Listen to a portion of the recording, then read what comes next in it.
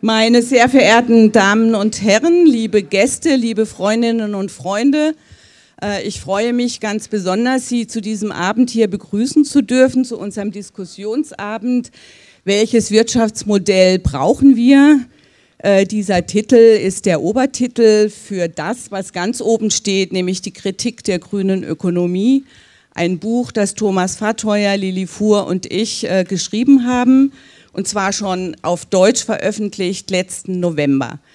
Wir freuen uns, dass Sie so zahlreich hier erschienen sind bei uns und wir freuen uns auch, dass noch viel mehr Menschen, und die möchte ich hier auch besonders begrüßen, per Livestream und zwar auch im internationalen Kontext uns zuhören. Hello everybody listening to us, welcome uh, from Berlin. Uh, Livestream ist eine Möglichkeit, die Zuhörerinnenzahl noch einmal zu vergrößern. Und äh, ich denke, das ist ein guter Weg, weil heute ist der Tag, an dem wir nicht nur noch einmal über die deutsche Veröffentlichung Kritik der grünen Ökonomie reden, sondern wir freuen uns, äh, dass wir anlässlich der englischen Übersetzung der Kritik der grünen Ökonomie, auf Englisch heißt das Buch Inside the Green Economy, froh sind, dass wir auch einen internationalen Gast heute bei uns haben, nämlich Tim Jackson, der Autor von Wohlstand ohne Wachstum, ein Bestseller. Das Buch ist auch mit von der Heinrich-Böll-Stiftung herausgegeben worden.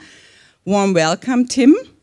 Thank you once again for contributing. Vielen Dank für die Beiträge zu unserem Buch, zum Vorwort zumindest. Und ich freue mich auch ganz besonders, dass Gerhard Schick, Mitglied des Deutschen Bundestages für Bündnis 90 Die Grünen und Autor des Buches, oh Gott, Wirtschaftsmacht, nein, danke, Machtwirtschaft, nein, danke, äh, heute auch mit uns diskutiert. Und ich denke, von den Titeln der Bücher wird sehr schnell klar, dass die Autorinnen und Autoren des Buches äh, sehr viel gemeinsam haben, nämlich äh, gemeinsam haben wir dass wir suchen danach, wie muss eigentlich Wirtschaft, Gesellschaftspolitik aussehen, die es schafft, in den planetarischen Grenzen zu bleiben, auf der einen Seite, die es aber gleichzeitig auch schafft, das alte, die alte Vision der Moderne, nämlich Demokratie, Menschenrechte und Freiheit in Einklang zu bringen. Das wird keine Kunst sein, wie wir mit Freiheit, Menschenrechten und Demokratie und demokratischer Teilhabe gleichzeitig in den planetarischen Grenzen bleiben wollen. Das haben wir in unserem Buch auch adressiert. Wir haben sehr kritisch die Mainstream-Konzepte der grünen Ökonomie aus, auseinandergenommen, wie sie von Weltbank, UNEP, OECD, McKinsey, aber auch mittlerweile als grüne Ökonomie, als Chiffre auch für äh, ähm, PR, würde ich jetzt äh, sagen, von großen Konzernen wie Volkswagen benutzt werden. Äh, mit, der, mit der Kritik der grünen Ökonomie wollen wir eben eine Debatte auslösen darüber, welches Wirtschaftsmodell wir brauchen, weil das, was wir mittlerweile theoretisch und praktisch von denjenigen hören, die sich diese grüne Ökonomie als Begriff gekrapscht haben, sage ich jetzt mal, von diesen Konzepten sind wir nicht überzeugt. Es ist nicht die grüne Ökonomie, wie, die wir wollen. Meine zwei Co-Autoren und Autorinnen, Lili Fuhr und Thomas Fahrteuer, freuen sich auf den heutigen Abend ganz besonders, weil es ist das buchstäblich erste Mal, dass wir gemeinsam bei einer Buchvorstellung oder einer Debatte um die Thesen des Buches auftreten. Der Vorteil von drei Autorinnen ist natürlich, dass jeder und jede von uns äh, in ganz unterschiedlichen Kontexten mit dem Buch bereits unterwegs waren. In Deutschland, in Österreich, in der Schweiz wird das Buch Kritik der grünen Ökonomie ganz positiv und gut rezipiert. Wir haben viele, viele gute Rückmeldungen. Jetzt freuen wir uns, dass heute Abend mit Inside the Green Economy dann auch sozusagen die Weltöffentlichkeit von unseren Analysen etwas erfahren darf. Ich möchte hier jetzt gar nicht mehr weiter ähm, reden, sondern Sie nochmal herzlich willkommen heißen, Ihnen ähm, ganz kurz sagen, wer hier an dieser wunderbaren Tafel malt. Das ist Anne Lehmann. Sie wird Im sogenannten Graphic Recording versuchen grafisch die Debatte heute Abend einzufangen. Das Ergebnis am Ende nach zwei Stunden Diskussion können Sie dann nachher am Ende der Diskussion im Foyer äh, betrachten und beobachten und mal schauen, ob Sie auch grafisch dargestellt Elemente unserer Diskussion wiederfinden. Herzlichen Dank, Anne Lehmann, dass Sie bei uns sind und das machen und ich bin sehr gespannt, was dabei rauskommt.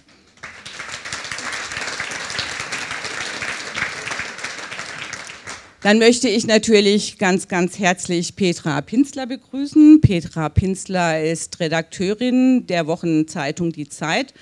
Sie arbeitet in dieser Funktion im Berliner Büro. Sie ist selbst Autorin von einem sehr wichtigen, von mehreren wichtigen Büchern, die sich auch mit Wachstumskritik und Lebensstilen äh, auseinandersetzt. Aber sie hat vor allem auch ein wichtiges Buch zu TTIP geschrieben und ist eine der wenigen Menschen in Deutschland in den Journalisten, Mainstream-Medien, die überhaupt äh, kritisch zu TTIP schreibt. Äh, herzlich willkommen, Petra, und ganz herzlichen Dank dafür, dass du den Abend heute moderierst für uns.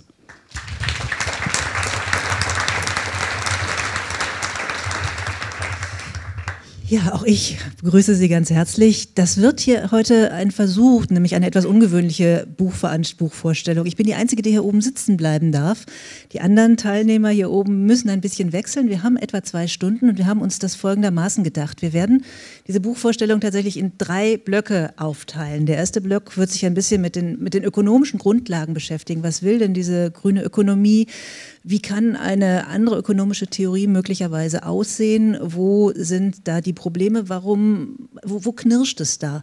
Wollen dann im zweiten Block mit ähm, zwei, drei anderen Teilnehmern etwas runterbrechen, das Ganze, und uns ein bisschen konkreter mit manchen Fragen beschäftigen, nämlich mit dem Rebound-Effekt und diesem technologischen Optimismus. Wo ist der richtig und wo ist der falsch? Und warum ist es auch so schwer, dagegen anzudiskutieren? Um dann im dritten Teil über die politische Dimension des Ganzen zu diskutieren.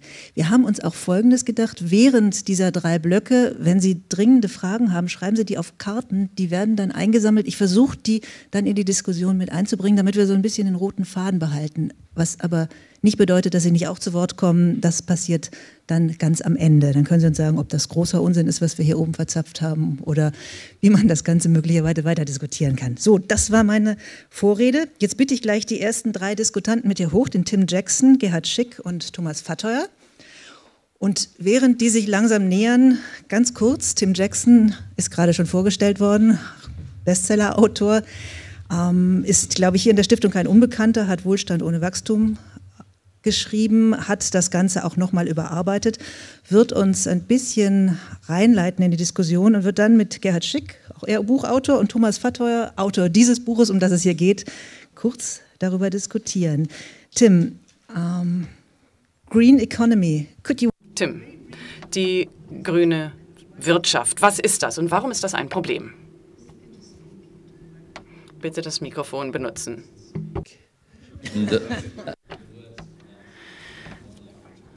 So, ich spreche jetzt einfach und die Worte kommen dann entweder in der einen oder in der anderen Sprache. Better, aber it's a lot better in English for me. Für mich ist es einfach leichter, das auf Englisch vorzutragen. Es ist mir eine große Freude, hier zu sein und auch herzlichen Glückwunsch noch einmal an Barbara, Lilly und Thomas für dieses Buch. Die grüne Wirtschaft ist doch etwas Seltsames. Sie ist so etwas wie eine Verheißung und hat das Leben sozusagen als Verheißung begonnen über eine andere Wirtschaft, eine andere Gesellschaft. Und ganz schnell wurde daraus ein Objekt der Kontroverse. Und es kam dazu, dass es zumindest bei vielen Leuten den Eindruck gab, dass die Mainstream-Wirtschaft oder die Mainstream-Gedanken die radikaleren Gedanken kolonisiert hätten.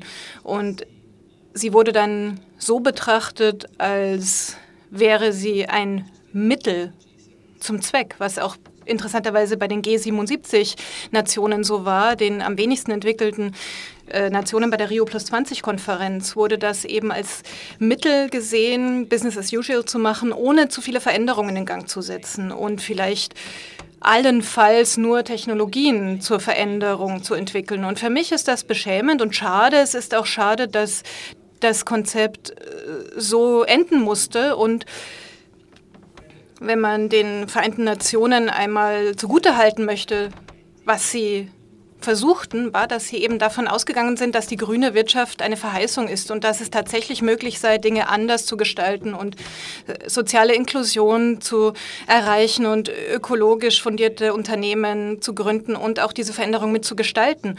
Und sie haben sich da ein bisschen geirrt in diesem Konzept, aber auch mit den besten Absichten. Sie wollten das Konzept der grünen Ökonomie auch in einer Sprache herüberbringen, sodass auch die Finanzer mit an den Tisch kommen sollten und auch die äh, Führungskräfte der Welt. Und wenn man den Bericht Towards the Green Economy der Vereinten Nationen liest, dann stellt man fest, dass der Titel die Überschrift zum, zur Vorstellung dieses Berichts lautete Grünes Wachstum, besseres Wachstum, dass eben das grüne Wachstum noch schneller ablaufen könnte als das übliche Wachstum. Und Sie haben also einen Appell ausgesandt, dass man Dinge in der Ökonomie tun könnte, die darauf hindeuten, dass die derzeitige Wirtschaft sogar noch besser funktionieren könnte, besser als in der Vergangenheit.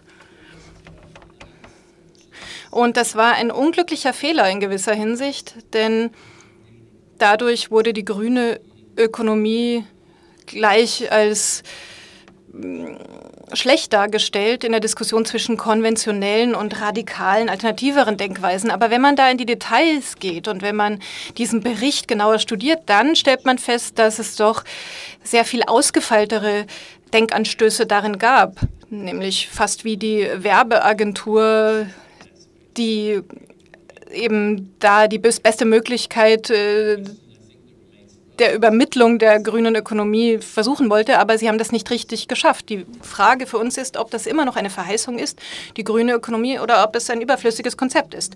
Thomas beschäftigt haben mit der grünen Ökonomie, ist ja, dass sie tatsächlich grundsätzliche Probleme mit diesem Konzept haben und sagen, es trägt nicht sehr weit. Können Sie uns das ja, etwas ich, konkreter ja, machen? Ich glaube, es gibt konzeptionelle Baustellen in der Ökonomie, äh, die in die falsche Richtung laufen, die, die ein falsches Konstrukt errichten. Das ist eben noch mal was anderes, als äh, dass es als äh, äh, Versprechen bleibt. Ich glaube, da ist noch ein anderer Punkt. Und äh, also grüne Ökonomie ähm, greift was ganz Wichtiges und Richtiges auf. Nämlich, dass die klassische Ökonomie versagt hat in dem Verhältnis zwischen Ökonomie und Natur. Äh, dass die klassische Ökonomie es nicht geschafft hat und, und ökonomisches Wirtschaften auch nicht geschafft hat, Natur adäquat einzubeziehen, sondern sozusagen auf Naturzerstörung aufbaut.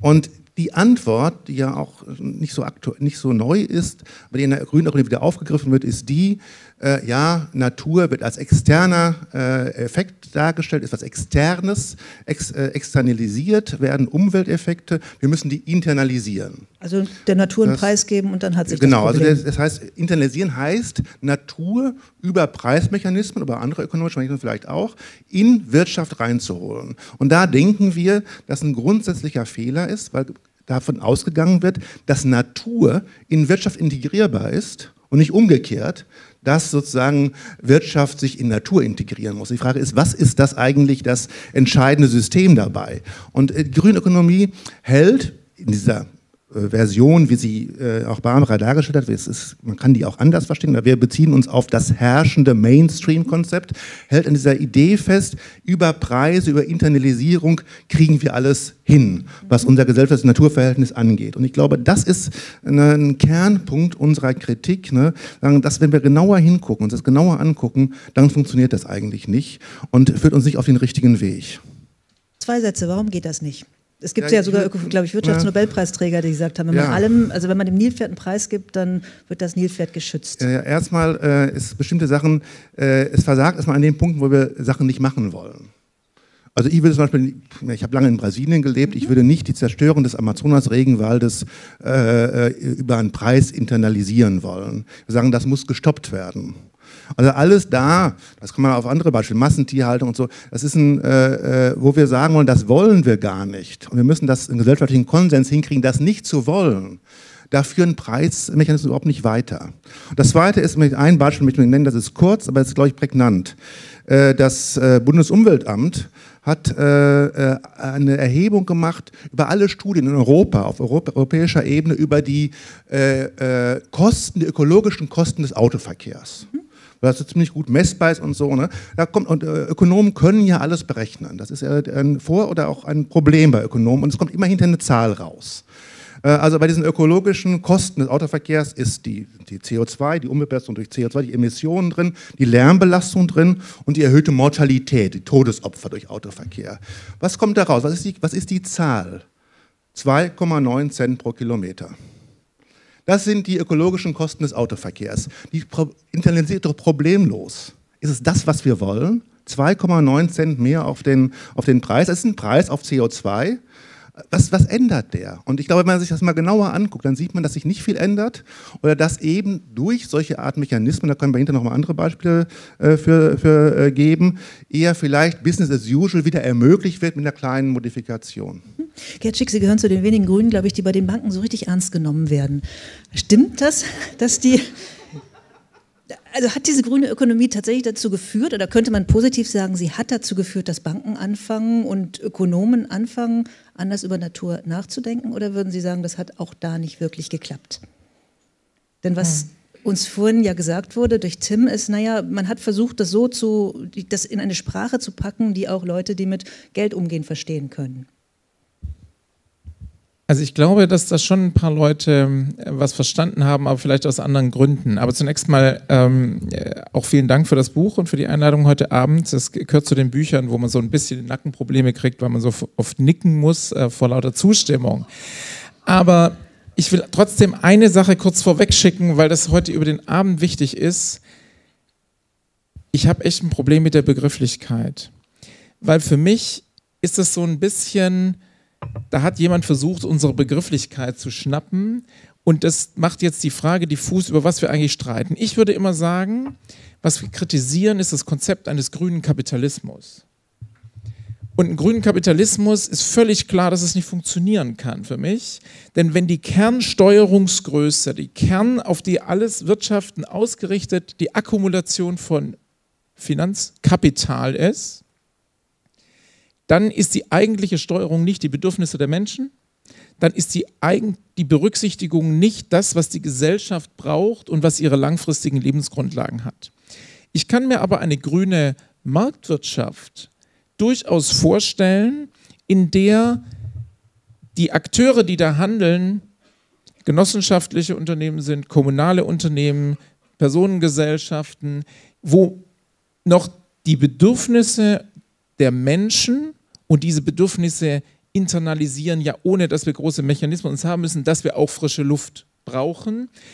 Viel, also da kann ich mir vorstellen, dass man das hinkriegen kann. Und deswegen ist mir für die Begrifflichkeit heute Abend wichtig, was kritisieren wir da eigentlich? Und ich glaube, wenn ich, äh, ich richtig verstanden habe, dann ist es ja der Punkt, manche Leute versuchen uns jetzt einen grünen Kapitalismus zu verkaufen und die völlig gescheiterte kapitalistische äh, These, dass es so, wenn wir nur möglichst viel Kapital haben, uns immer besser geht, die ja durch Finanzkrisen ständig auch wieder widerlegt worden ist, nochmal zu retten. So, und da sind wir uns völlig einig. Green Capitalism kann nicht funktionieren, war ich schon immer dagegen und ich finde, die Grünen müssen sich antikapitalistisch aufstellen. Alles andere gibt keinen Sinn.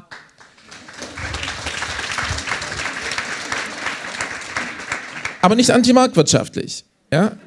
So, mal gucken, wie viel, so, können wir noch ausbuchstabieren. So, und jetzt zu den Banken. So, da gibt es natürlich manche, die sozusagen, sobald wir etwas mit einem Preis versehen, es handelbar machen, ganz begeistert sind. Und da ist so ein CO2-Markt, da kann man ganz viele Ideen bekommen, wenn man Zertifikate handelt, da kann man Derivate aufmachen, da kann man betrügen, da kann man super gut betrügen. So, Ne? Und den Markt kann man auch so schle schlecht machen, dass er gleich zusammenbricht, wie viele andere Finanzmärkte auch. So, aber es gibt auch Leute, und das sollten wir nicht übersehen, die verstanden haben, dass der Kohleausstieg ökonomisch Sinn macht. Für sie selber als Investoren, weil es einfach nicht mehr funktioniert. Und es gibt auch in der Wirtschaft natürlich Menschen, die über den Tag hinausdenken und wissen, wenn die Vereinbarungen von Paris nicht funktionieren, dann kracht unser ganzes Geschäftsmodell zusammen. Weil natürlich, sobald wir den Klimawandel wirklich in einer stärkeren Fassung haben, das, was, wir, was uns bevorsteht, natürlich bestimmte Sachen gar nicht mehr absicherbar sind, Landwirtschaft nicht mehr funktioniert, etc. Und ähm, ich glaube, da sind schon Leute, mit denen wir zusammen unterwegs sein können. Mhm. Okay,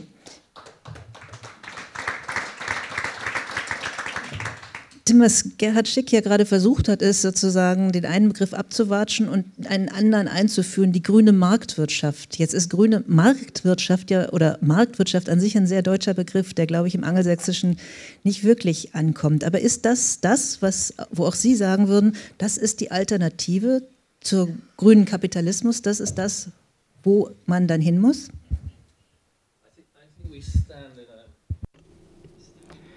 Ich glaube, da sind wir in einer ganz schwierigen Lage und wir müssen uns da auch nichts vormachen. Das System, das vor uns liegt, versucht die Sprache zu kolonialisieren und die grüne Ökonomie hat, beginnt da nicht, den Kapitalismus vorzuschlagen, sondern Ende zu. Denn sie haben ja die Sprache kolonisiert und auch die Konzepte und haben sie in etwas übersetzt, wie zum Beispiel grüne Besteuerung was natürlich in die bestehenden Gedankensysteme gut internalisiert werden könnten. Und diese Sprache ist auch eine, die die Kapitäne und die Chefs der Industrie und der Finanzwelt verstehen können.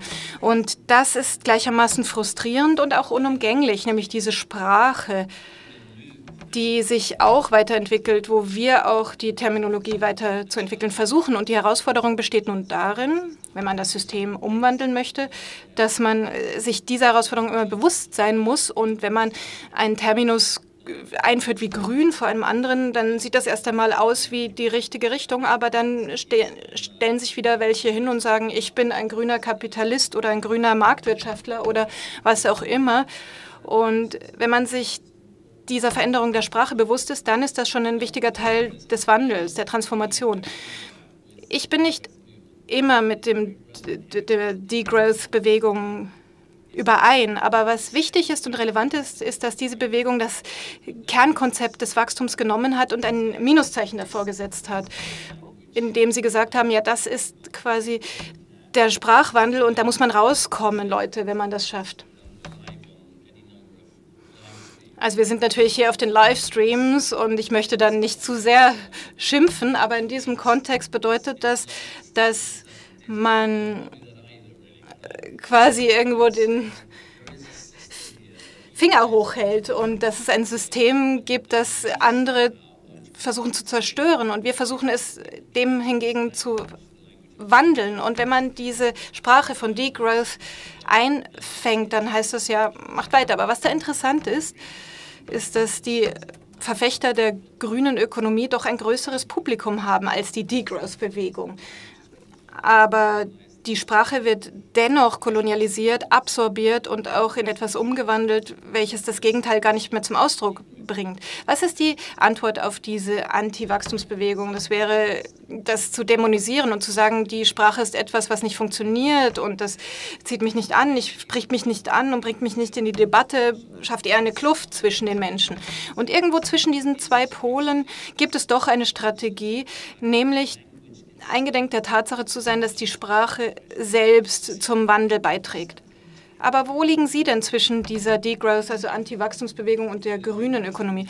Ja, Green Growth und Degrowth, also ich bin da in einer sehr ungemütlichen Lage. Also ich bin im Niemandsland aufgestanden und wurde von beider Seite attackiert. Also das ist meine Erfahrung damit, ganz ehrlich. Und was ich da mache, oder ich versuche es zumindest, ist ein Sprachspiel zu spielen. Und das Sprachspiel, das ich versuche zu spielen, besteht darin, Worte zu benutzen und umzuwandeln, wie zum Beispiel den Wohlstand.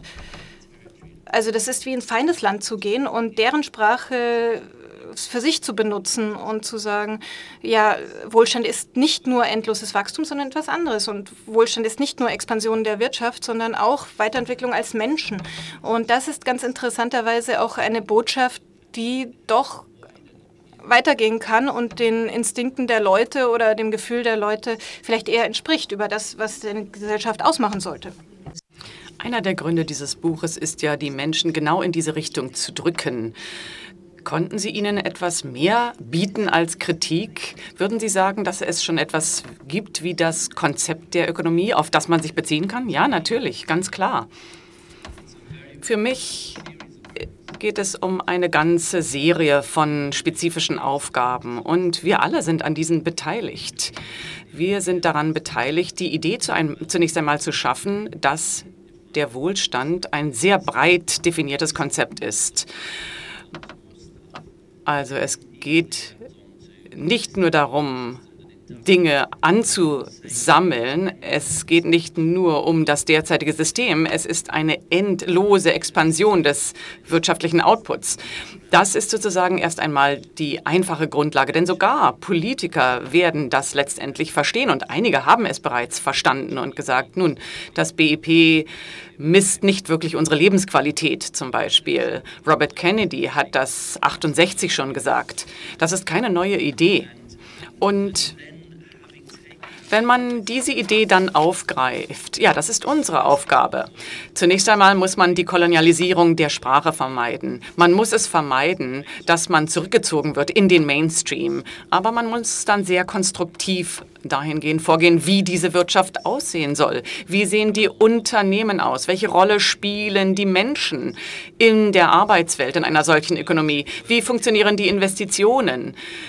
Funktionieren sie irgendwie? Wie funktioniert das Geldsystem in einer derartigen Ökonomie? Man muss also die Bausteine wieder aufgreifen, die so selbstverständlich für uns geworden sind und diese transformieren in das Territorium gehen, das Wort herausnehmen, es neu umformieren und dann die Bausteine neu formen. Nicht in der Kritik zu erschöpfen, sondern zu schauen, was kann man dem entgegenstellen. Würden Sie zustimmen, dem, was Tim sagt? Es gibt genug über die Kritik an der grünen Ökonomie hinaus, was man anbieten kann bereits als Konzept? Ja, also ich glaube, es gibt äh, eine ganze Menge, was da anzubieten ist. Es gibt aber nicht vielleicht den ganz großen Entwurf einer anderen und neuen Gesellschaft.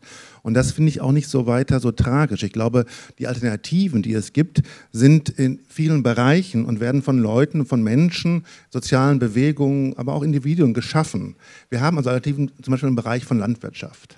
Es fehlen überhaupt keine Alternativen in dort. Es fehlt viel, und das ist in anderen Bereichen auch so, es fehlt ganz oft die Macht, Alternativen umzusetzen, die politischen Einflussmöglichkeiten, äh, die Lobby, die dafür notwendig ist. Also wenn wir uns diese Bereiche angucken, Stadtentwicklung, äh, Verkehr, überall gibt es alternative Konzepte und ich glaube, die gilt es zu stärken und zu, äh, zu pushen.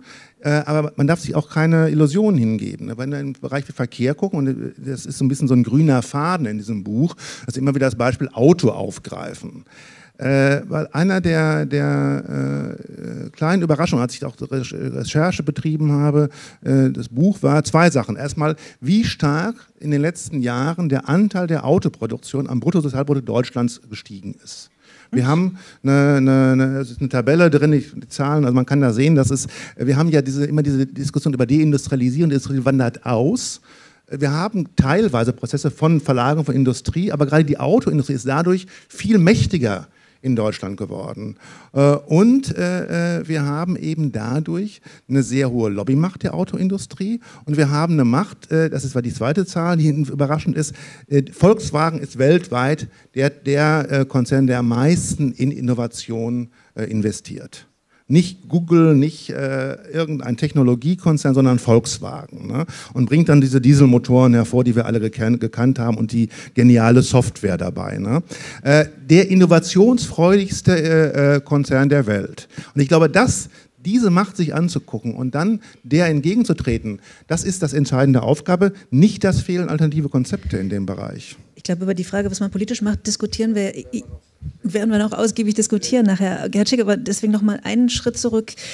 Wenn wir noch mal bleiben bei dem Punkt, den Thomas Verteuer am Anfang angesprochen hat, der großen Kritik der sozusagen der, der Inwertsetzung von Natur, dass alles den Preis kriegt, würden Sie sagen, das macht trotzdem in manchen Bereichen Sinn und damit macht diese Kritik der grünen Ökonomie Sinn oder sollte man einfach anerkennen, dass sowas wie ein CO2-Preis dann doch vielleicht in bestimmten Bereichen sinnvoll ist? Oder muss man zurück zum deutschen Ordnungsrecht, weil sich nur so die deutsche grüne Marktwirtschaft, die Sie im Kopf haben, durchsetzen lässt und am Ende solche Inwertsetzung von Natur in die falsche Richtung führt?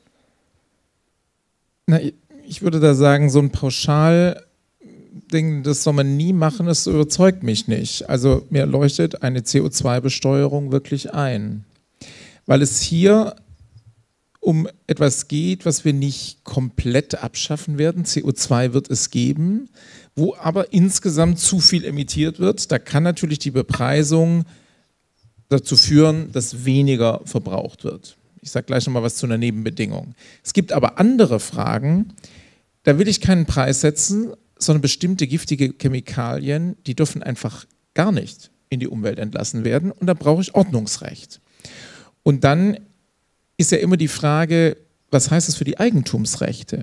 Also vieles, was wir unter Finanzialisierung diskutieren, heißt ja, dass bisher freie Ressourcen, die nicht einem Einzelnen gehörten, aber vielleicht einer Community gehörten, eine bestimmte Region des Regenwaldes, plötzlich in, mit Landrecht versehen wird, an jemand verkauft wird und damit den Leuten eigentlich weggenommen wird. So, und das muss man sich angucken. Sondern Jetzt habe ich vorher gesagt, eine Sache muss man noch dazu sagen. Die Bepreisung funktioniert natürlich nur dann, wenn wir auch die Verteilungsfrage im Blick haben. Denn wenn die eine Hälfte der Gesellschaft so reich ist, dass der Preis sie nicht juckt, den wir für CO2 haben und sie trotzdem fliegen kann ohne Ende, und der andere Teil der Gesellschaft so arm ist, dass er keine Vermeidungsstrategien im Sinn von investieren in besser isolierte Fenster oder was weiß ich überhaupt machen kann, sondern praktisch von der Hand in den Mund lebt, dann ist natürlich CO2-Bepreisung kein sinnvolles Konzept.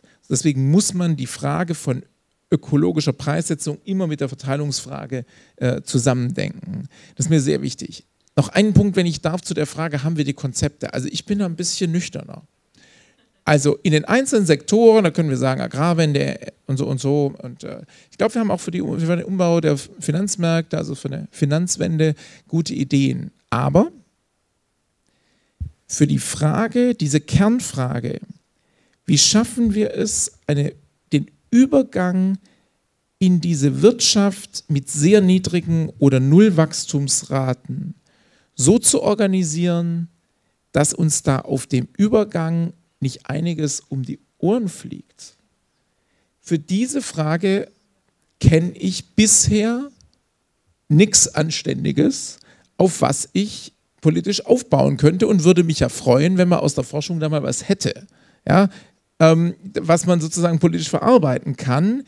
Denn die Forderung nach Degrowth, die ist schnell formuliert, aber ich muss mir jetzt ja mal überlegen, wenn bisher ein Zurückgehen von Wachstumsraten fast immer einen Anstieg von Arbeitslosigkeit mit sich gebracht hat, einen Anstieg von Verschuldung.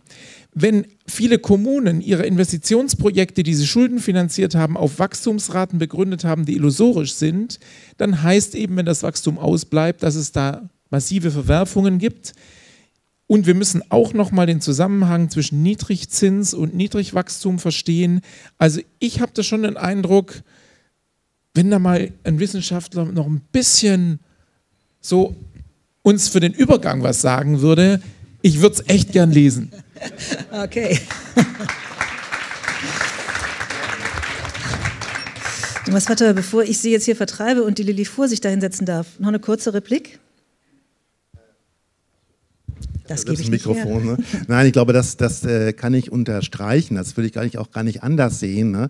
Äh, deshalb ist es ja auch eine Transformationsperspektive, äh, haben wir da in den Mittelpunkt gestellt und keine sozusagen fertige, äh, äh, fertiges Ziel, wo wir hinwollen. Ich glaube, da ist noch viel Arbeit zu leisten auf dem Weg. Ne? Äh, das, das, das ist klar. Aber ich glaube, dass in vielen Bereichen, das, das ist das, äh, was uns in dem Buch umgetrieben hat, mich auch, dass in vielen Bereichen Alternativen da sind, konkrete Vorschläge da sind und wir nicht den nächsten Schritt machen weil wir die politische Macht nicht dazu haben. Das finde ich ist, und das wird in der Ökonomie, Gründen und Ökonomie klar, wir diskutieren über Transformationsperspektive, aber wir kriegen nicht mal die SUVs von der Straße und wir kriegen nicht mal eine normale Mehrwertsteuer für, äh, für Fleisch hin. Wir diskutieren alle möglichen Fragen und wir kriegen den ersten und nächsten Schritt nicht hin. Und ich glaube, da ist, da ist ganz viel zu machen, bevor wir an Probleme mit einer riesen Transformation und Degrowth und so kommen. Und die kriegen wir im Augenblick nicht hin. Und diese sollten wir auch mal nochmal anvisieren, diese nächsten Schritte auch wirklich hinzukriegen politisch. Okay, dann würde ich Sie bitten, das Mikrofon jetzt an die Lilly Fuhr weiterzugeben. Genau. Bitte einen heftigen Applaus.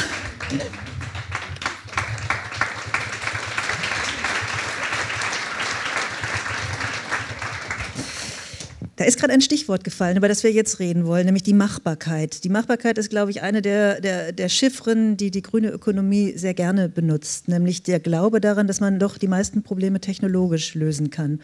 Warum stimmt das nicht? Ja, wir haben festgestellt, als wir uns diese verschiedenen grünen Ökonomie-Konzepte angeschaut haben, aber auch die Umsetzung in der Praxis, dass eine Sache, die die alle gemein, gemeinsam haben, die denen alle innewohnt, ist diese, diese unglaubliche ähm, Sicherheit, dass wir für alles eine technologische Lösung finden würden, sei es auch irgendwann in der Zukunft. Und ich glaube, wir kennen viele Beispiele ähm, in der Vergangenheit, wo Technologien auch nicht das getan haben, was sie versprochen haben oder wo sie etwas getan haben, aber auch schlimme Nebenfolgen hatten. Ich glaube, da fallen uns schnell Beispiele ein. Ähm, Atomenergie kann man da vielleicht auch noch mal nennen. Ähm, aber es ist unglaublich, was das für eine Macht hat im Diskurs. Ein Beispiel, dem, also das mich persönlich im Moment in meiner klimapolitischen Arbeit am meisten umtreibt dazu, ist eine Debatte um ähm, sogenannte negative Emissionen. Da ist, also bekannt ist ja vielleicht inzwischen, dass unser sein globales CO2-Budget eigentlich ausgeschöpft ist. Also wenn wir es ernst meinen mit dem in Paris im letzten Dezember proklamierten Ziel, die globale Erwärmung auf maximal 1,5 Grad über industriellem, vorindustriellem Niveau zu begrenzen, dann müssten wir quasi morgen aufhören, äh, Kohle zu verbrennen und fossile Emissionen zu emittieren. Das wissen Klimawissenschaftler auch eigentlich schon sehr lange. Und der Weltklimarat IPCC, der macht ja immer so Szenarien, in denen sie berechnen, wie wir solche politischen Ziele erreichen können. Und jetzt ist es so, dass in Vorbereitung auf den Klimagipfel in Paris zunehmend klar geworden ist, dass in diesen ganzen Szenarien, die uns auf 2 Grad oder vor allem auf 1,5 Grad bringen, überall ein Konzept drinsteckt, das sich negative Emissionen nennt. Die Wissenschaftler standen nämlich vor, der, vor dem Problem, dass die sozusagen politisch die Vorgabe hatten, kreiert uns Szenarien, aber stellt bloß nicht unser globales Wachstumsmodell in Frage. Und was haben die Klimawissenschaftler gemacht? Die haben gesagt, oh, dann müssen wir eben die Emissionen übers Ziel hinausschießen lassen und dann werden wir schon in Zukunft mit in der Mitte des Jahrhunderts spätestens magische Technologien haben, die CO2 aus der Atmosphäre saugen. Diese Vorstellung steckt in all diesen Szenarien des IPCC drin. Und auf dieser Basis haben wir die politischen Ziele in Paris formuliert beim Klimagipfel. Das heißt, das sind dann ganz konkret solche Ideen, wie das CO2 im Meer zu versenken oder das CO2 äh, sozusagen über die Bäume wieder in die Moore zurückzubringen ja, es gibt ja solche Ideen durchaus. Genau, die Technologie, die da am meisten diskutiert wird, ist Biomasse CCS. Mhm. Ähm, die Idee ist, dass wir großflächig ähm, Biomasse anpflanzen, also Bäume, Gräser, was auch immer, am besten noch gentechnisch verändert. Die Fläche, die wir bräuchten, um etwa zwei Grad zu erreichen, klimapolitisch, entspricht ungefähr der doppelten Größe Indiens. Manche sagen auch die doppelte Agrarfläche, die wir weltweit aktuell haben.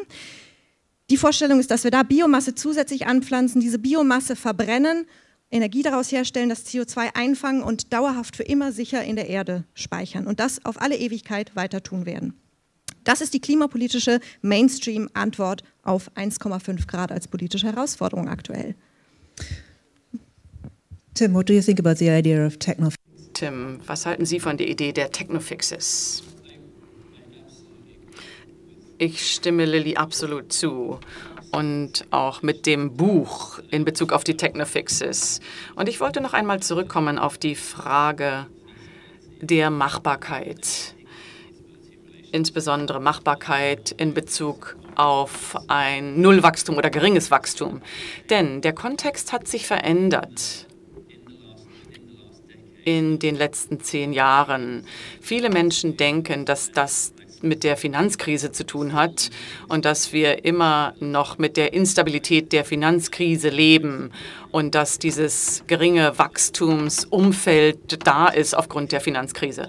Aber wenn, wie Gerhard das vorgeschlagen hat, wenn man jetzt die wissenschaftliche Perspektive mehr annimmt und wenn man die kapitalistischen Ökonomien sich anschaut in den letzten 100 Jahren, sagen wir mal, dann sieht man ein sehr, sehr interessantes Phänomen. Technologien funktionieren, indem wir die Arbeitsproduktiv massiv angehoben haben zwischen 1900 und der Mitte des 20. Jahrhunderts oder des 19. Jahrhunderts. Aber seit der Mitte des 19. Jahrhunderts ist diese Arbeitsproduktiv runtergegangen. Massiv. In meinem Land zum Beispiel ist die Arbeitsproduktivität und das entsprechende Wachstum sogar negativ gewesen in den letzten Jahren. In den meisten Volksökonomien ist das bei weniger als 0,5 Prozent. Und das ist eine Situation, in dem das Wachstumsmodell nicht mehr funktioniert. Und das ist nicht mehr ansprechend. Das ist ein Umfeld, in dem wir die Machbarkeitsfrage stellen müssen. Wir müssen die Frage stellen, wie sieht die Wirtschaft aus, wenn man kein Wachstum mehr hat oder dieses Wachstum nicht mehr hat. Man muss das Thema Beschäftigung, finanzielle Stabilität, Geldsysteme und so weiter stellen, wenn man sich eine Ökonomie anschaut, bei der man sich nicht mehr auf das Versprechen eines Wachstumsanstiegs verlassen kann. Nun, das ist natürlich interessant. Unter anderem, weil es dieses Argument der Technologien in zweierlei Hinsicht interessant beleuchtet. Zunächst einmal geht es um die Macht der Technologie. Technologien können uns retten und sie können die Wachstumsraten garantieren. Aber die grüne Ökonomie, was sie mit der Technologien tun möchte, hat etwas anderes vor. Sie möchte die Wachstumsraten nicht sichern, sie möchte unseren Planeten schützen. Also werden automatisch unterschiedliche Technologien definiert und diese anders definiert. Was macht sie noch? Sie hat einen Feedback-Mechanismus selbst eingerichtet. Das stimmt, was Lilly gesagt hat. Das sind imaginäre Technologien, diese negativen Emissionstechnologien. Und wir haben kommuniziert, dass sie da sind, wenn wir sie brauchen. Aber wenn wir dieses 1,5 Prozent Verzeihung, Grad-Ziel einhalten möchten, dann brauchen wir jetzt diese Technologien, dann brauchen wir sie morgen. Aber wir haben nichts Entsprechendes für unsere Stromsysteme, für unsere Industriesysteme, für die Herstellung der Produkte, die wir brauchen für die Märkte, damit wir sie am Laufen halten, die Vermögenswerte, die wir brauchen für die Finanzsysteme und so weiter.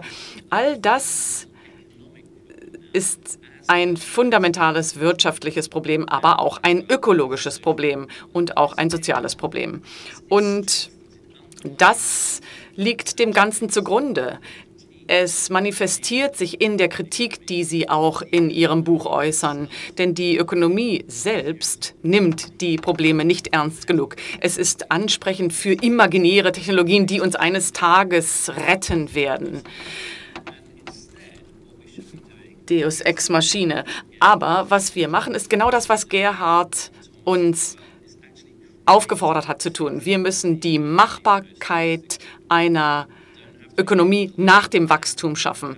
Wir brauchen nicht sagen, dass wir Degrowth Aktivisten sind. Wir brauchen keine entsprechenden Etiketten. Wir müssen nicht mehr dieses Wachstumsmodell verfolgen, denn dieses Argument ist nicht mehr da. Das Argument jetzt ist, wie schaffen wir ein ökonomisches System, das in radikal anderen Umfeldern funktioniert. Klima, soziale Ungerechtigkeit, finanzielle Stabilität und Volkswirtschaften, die resistent sind gegen das Wachstum, das wir dachten, was wir immer haben würden. Bei der Frage der, der, der, der Hoffnung an die Technologie bleiben. Ich glaube, in dem Kreis hier und den grünen Kreisen ist es ja fast quasi so eine Art Grundvoraussetzung, dass man sagt, man wird das mit Technologie alles nicht in den Griff kriegen. Aber wenn Sie in anderen Runden diskutieren, sieht das ja ganz anders aus. Oder würden Sie sagen, das ist mittlerweile sozusagen im Mainstream der Gesellschaft angekommen? Wenn man sich die Programme ja sogar bis hin zu den Grünen anguckt, dann ist doch der Glaube immer noch sehr fest dran, dass man über Wachstum und über Technologie das meiste in den Griff kriegt. Oder liege ich da so ganz falsch? Ja, also ich würde sagen, bis äh, in die Kreise der Heinrich-Böll-Stiftung hinein gibt es Anhänger von einer rein technologischen ähm, äh, Lösung des Problems. Und ich äh, glaube, dass man sich damit schon auseinandersetzen muss. Ähm, und es gibt ja zwei Fallen. Die eine ist, zu meinen, mit Technologie können wir es lösen. Das ist politisch sehr attraktiv. Da kann ich ein Unternehmen besuchen, wo heute, und das ist ja super spannend, die, das Wasser von Reinigungsprozessen, von irgendwelchen Produkten so oft recycelt wird, dass es praktisch so aussieht, als ist es schon Kreislauf. Ja, wir brauchen das ganz selten austauschen, weil die das selber in sich putzen. Und die Abgase bei BASF, die früher abgefackelt wurden, da neben meinem Mannheimer Wohnort, wo man dann die grünen und blauen und, und roten äh, Fackeln hatte, das wird heute für die Energieerzeugung in dem Werk genutzt. Das ist alles spannend, können Sie angucken, können Sie fassen, dann können Sie Politiker irgendwie sagen, super Beispiel. Super attraktiv, gesellschaftlich. Ja. Und die andere Falle ist, Technologie kritisch gegenüberzustehen und zu sagen, es geht alles nur über die Verzichtsvariante, weil ich glaube, dass es nicht funktionieren wird. Denn wir haben so viel in unseren jetzigen gesellschaftlichen Strukturen, in den Produkten, die wir täglich nutzen, dass wenn wir einfach nur weniger davon nutzen, wir noch überhaupt nicht da sind, wo wir hin müssen. Weil vieles von den Strukturen, die wir aufgebaut haben, uns ja zu einem Lebensstil auch bringen, der CO2-intensiv ist. So, und deswegen glaube ich, ist es entscheidend, die Frage zu stellen, wie kriegen wir eigentlich eine technologische Entwicklung, die wirklich den Bedürfnissen unserer Gesellschaft dient, endlich Lösungen für diese CO2-Frage, für diese Artenvielfaltsfrage, für die äh, Nitrate- und Grundwasserversorgungsfrage so, zu brauchen.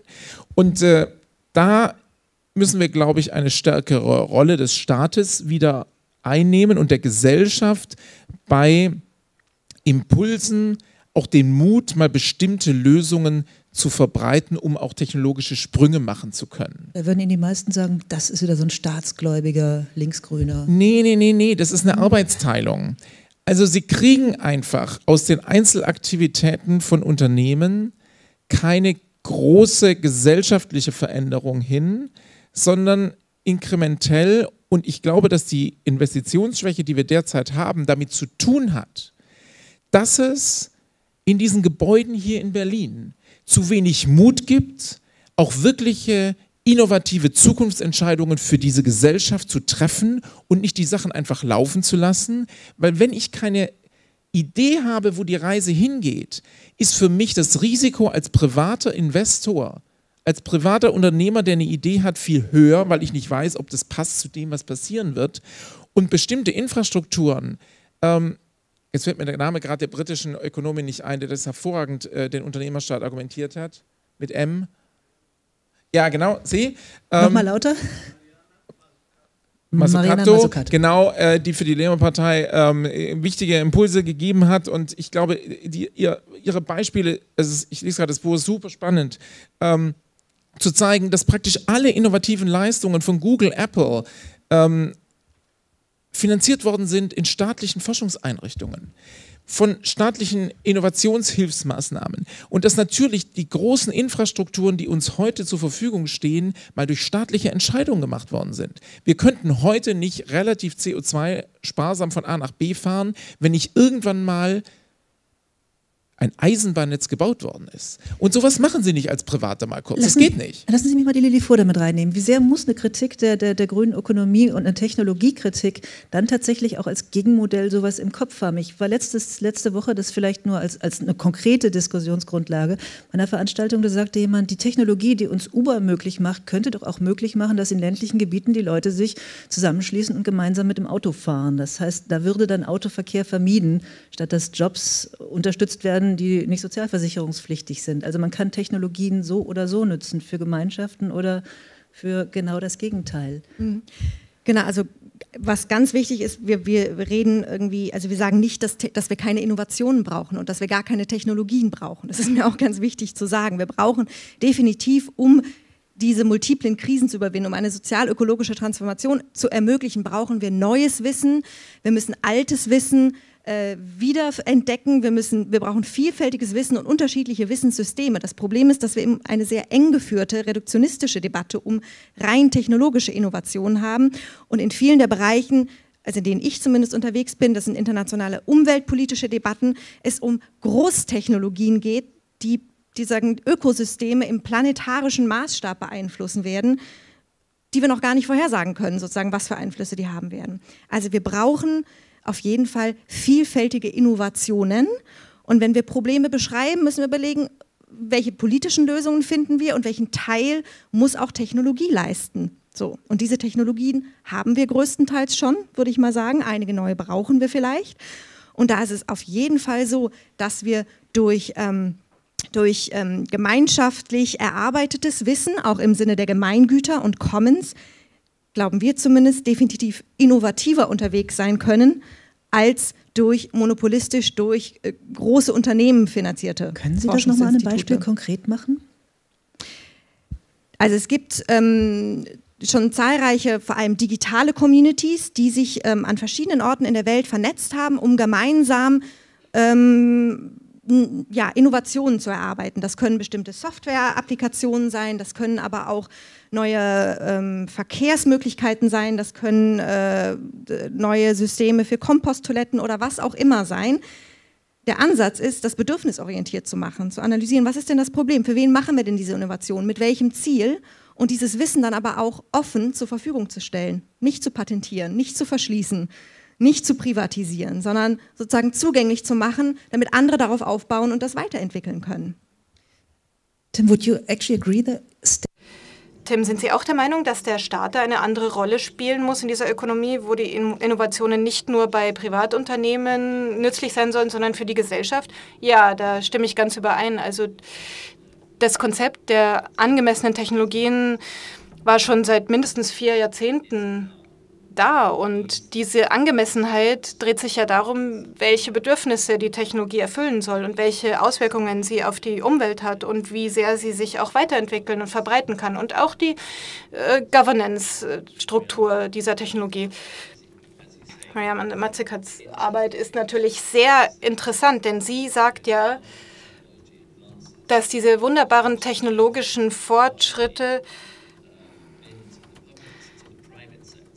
meistens nur der Privatwirtschaft zugutekommen, also einer Minderheit. Und sie wurden in ihrer Entwicklung aber von der öffentlichen Hand finanziert, von den Regierungen. Und wenn man diese Botschaft mal überdenkt, dann kann man die ja noch ausdehnen auf die Struktur dessen, was wir oft die kapitalistische Marktwirtschaft nennen, wo wir eigentlich die Gewinne privatisieren und die Kosten sozialisieren. Und genau so zeigt es uns auch das Beispiel von Apple. Aber das geht noch weiter darüber hinaus. Wir privatisieren die Gewinne der Gewinnung von mineralischen Rohstoffen und von Kohle, aber die Kosten werden sozialisiert, denn das liegt dann den Leuten auf der Tasche, das lastet sozusagen als Schuld auf den zukünftigen Generationen. Also dieser Prozess der Privatisierung der Gewinne und der Sozialisierung der Kosten ist eines, was sozusagen transformativ ist. Und das müssen wir im Hinterkopf behalten, wenn wir die Gesellschaft und die Wirtschaft verändern wollen. Und was daraus resultiert als Schlussfolgerung wäre, dass die Regierung eine gewisse Rolle zu spielen hat. Vielleicht können wir da mit Barbara später noch einmal diskutieren.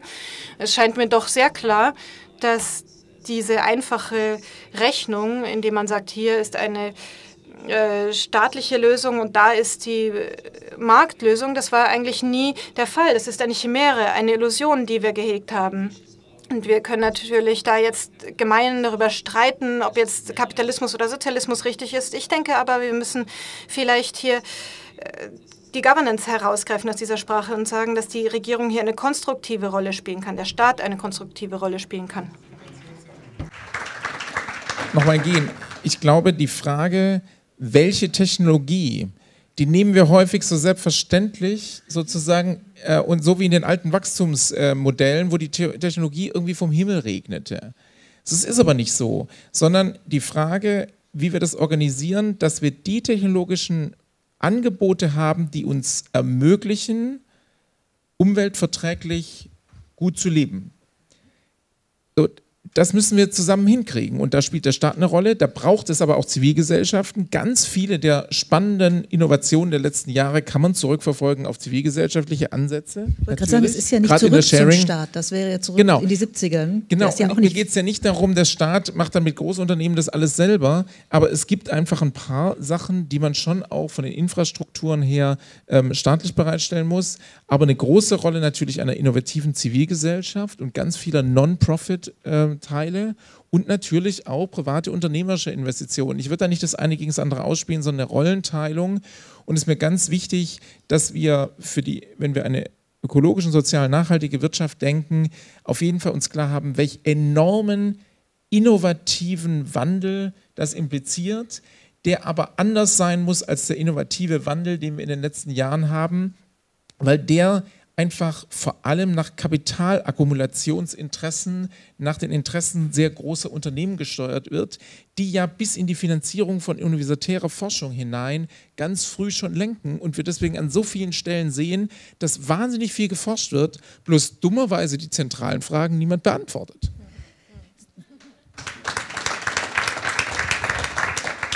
Mein Job ist ja immer ein bisschen auch zu gucken, dass wir das hier möglichst konkret hinkriegen. Sagen Sie mir mal ein, zwei Bereiche, wo Sie, stellen Sie mal vor, Sie wären Wirtschaftsminister. An welcher Schraube würden Sie drehen? Na, der Außenminister kommt dann danach, Wirtschaftsminister. Forschung. Von mir ist auch Forschung.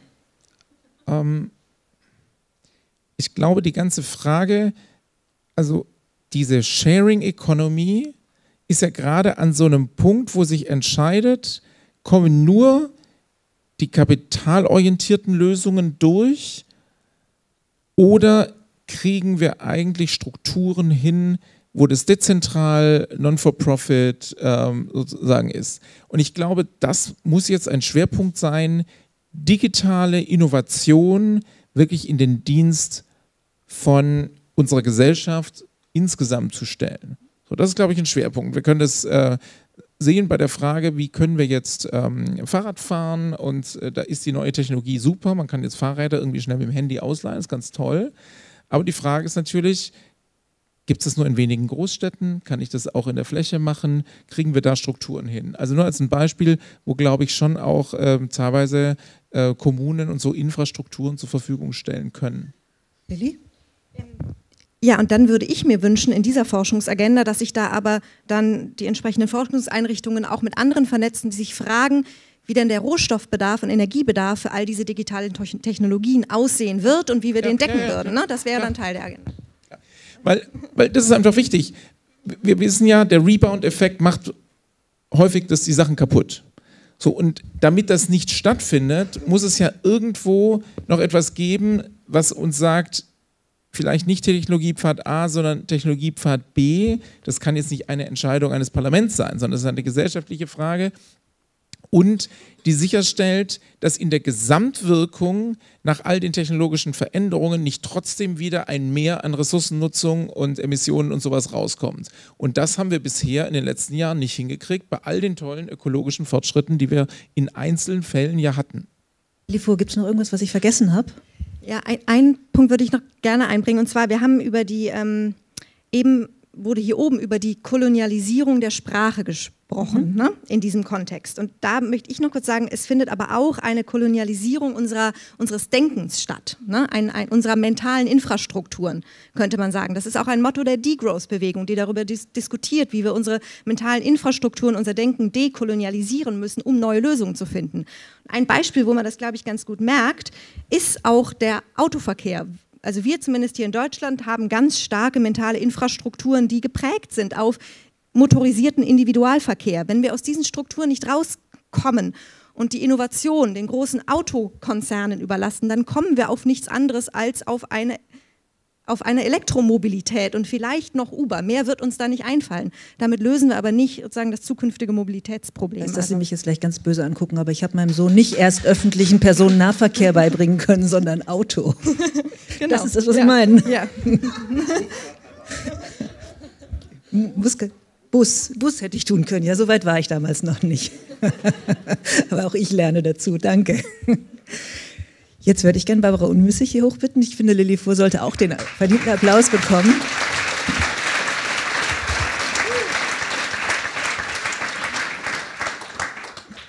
Wir sind ja jetzt schon beim Forschungsminister angelangt. Das ist Gerhard Schick jetzt mal kurz schon fast gedanklich gewesen.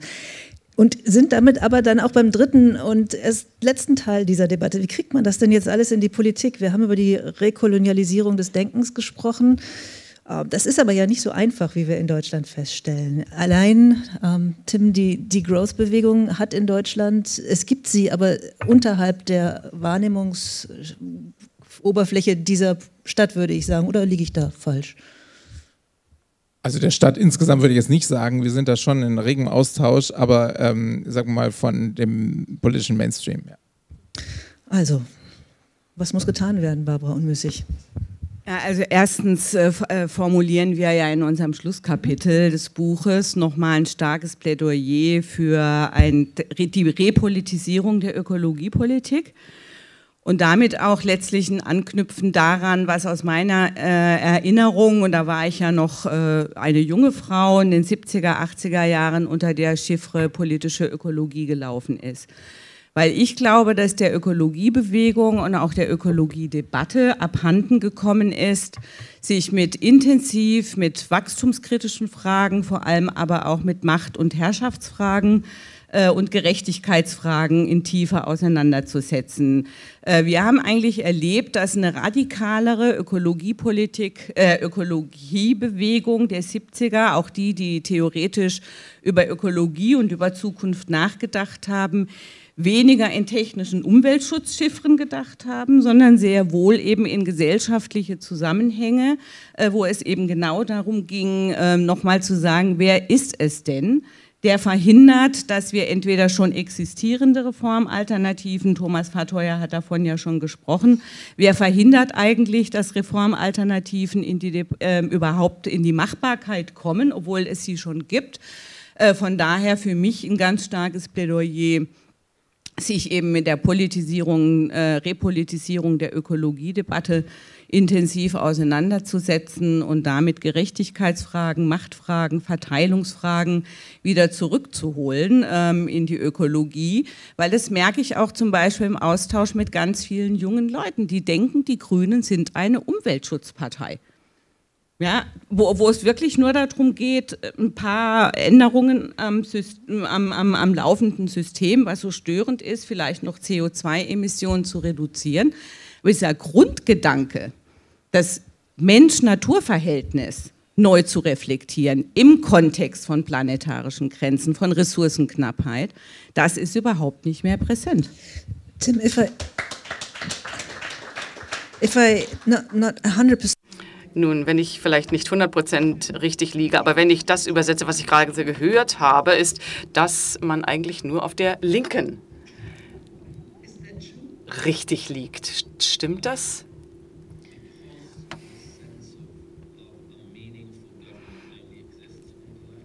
weil nur dort etwas Bedeutsames produziert wird auf der linken Seite. Nun, ich versuche nur die Frage zu äh, richtig zu verstehen. Nun, ich denke, es ist eine Herausforderung für die Rechte, ganz ehrlich. Aber es gibt auch einige Aspekte in der Debatte, die eine Herausforderung für die Linke darstellen. Was wir hier diskutieren, sind Herausforderungen für die Linke und die Rechte. Diese Dinge müssen neu belebt werden und es ist richtig, was gesagt wurde. Es geht um die Governance-Diskussion. Diese Debatte muss repolitisiert werden.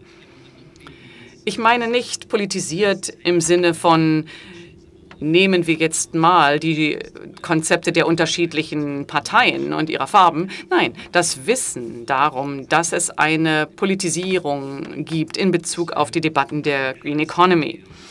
Und deshalb hat es zu tun mit fundamentalen Fragen der Ungerechtigkeit, der Armutsbekämpfung, des obszönen Wohlstands in einer Minderheit. Es muss zu tun haben mit der Frage der Vermögensrechte, der Eigentumsrechte sind wir in einem Unternehmen, das immer mehr Vermögensrechte ermöglicht, das immer mehr in Händen weniger akkumuliert? Oder sagen wir, alles gehört dem Staat und dann kümmern wir uns darum? Weder die linke noch die rechte Position wird erfolgreich sein. Das ist die Realität. Das heißt, in gewisser Hinsicht muss es eine Öffnung geben dieses politisierten Dialogs. Wir müssen sagen, welche Teile von rechts und links könnten hier vielleicht funktionieren, um ein Governance-Konzept zu entwerfen, das wirklich machbar und umsetzbar ist. Und ich glaube nicht, dass es einfach nur rechts oder links zu finden ist.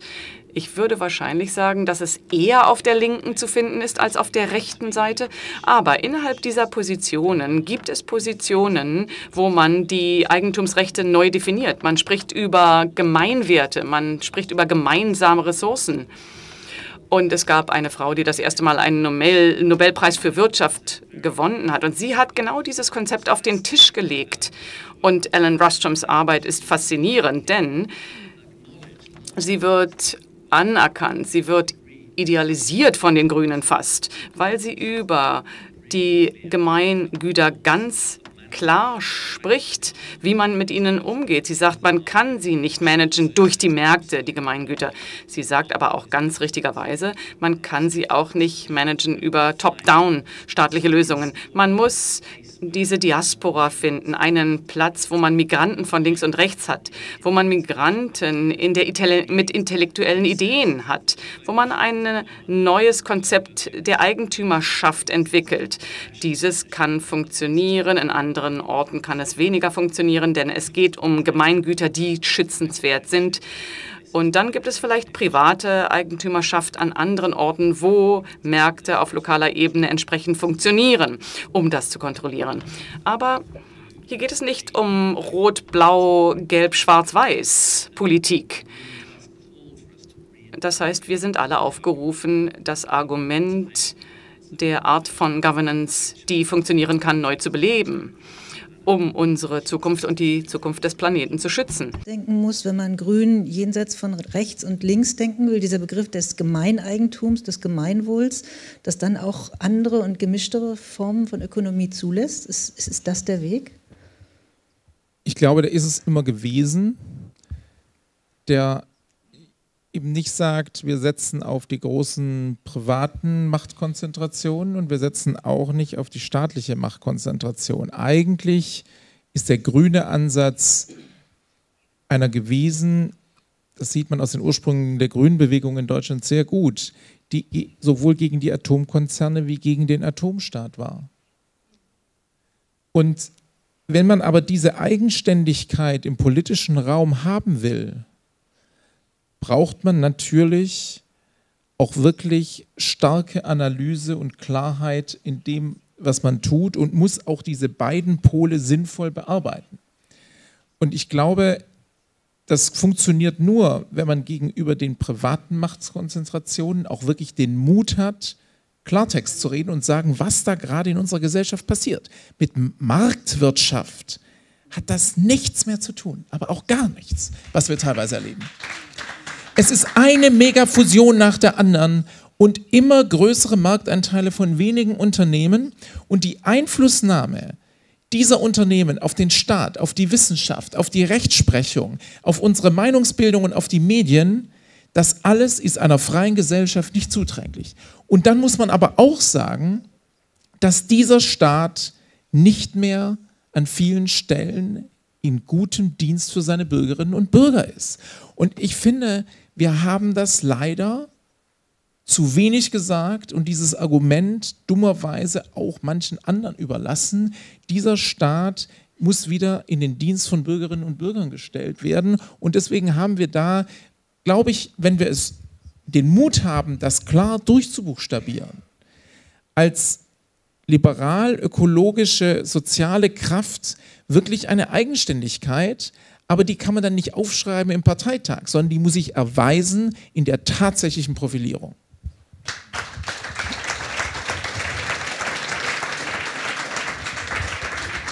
Ja, wunderbar.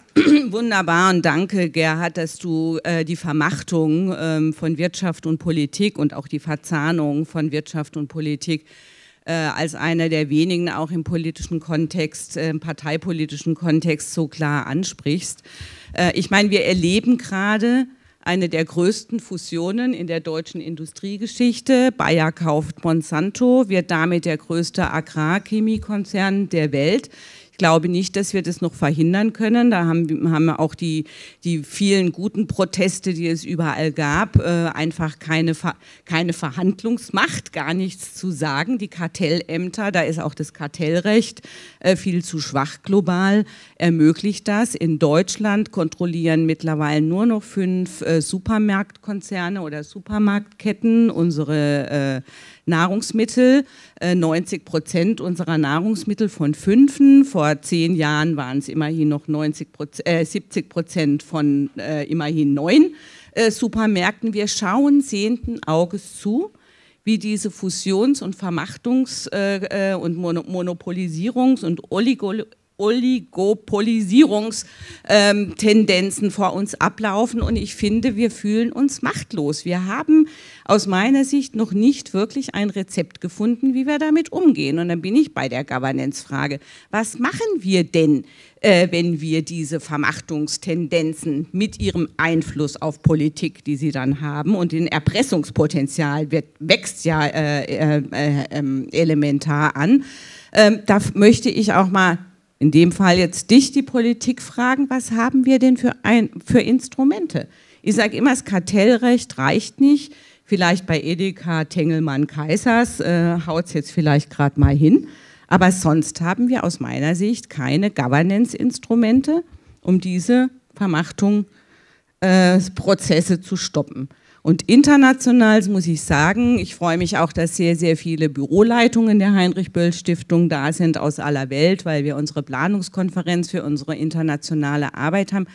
Es gibt keine Region, keine Region, in der wir als Heinrich-Böll-Stiftung arbeiten, die nicht auf dramatische Weise schildert, wie Unternehmen, Staat kooptiert Einfluss nimmt, auch da, wo es Fortschritte gab, wie in Lateinamerika, ein bisschen mehr ähm, äh, äh fängt da die, die, die, äh, der Zugriff ne, auch der alten Oligarchien wieder voll zu, wo ich, ich möchte hier eigentlich nicht unbedingt ein düsteres Bild verbreiten, ja, aber wo ich mich wirklich frage, wie wollen wir die ökologische Krise bei dieser Sorte von politischer Krise, die wir gleichzeitig haben, eigentlich äh, noch in den Griff kriegen. Und in Deutschland haben wir noch eine, und in Europa und weltweit haben wir eine politische Krise, die sich erstmal mit dem Erstarken von Rechtspopulisten und Rechtsextremen beschäftigt. Wir haben gar keine weltweit eine Debatte zu dieser Machtkonzentration. Die müssen wir aber hinkriegen.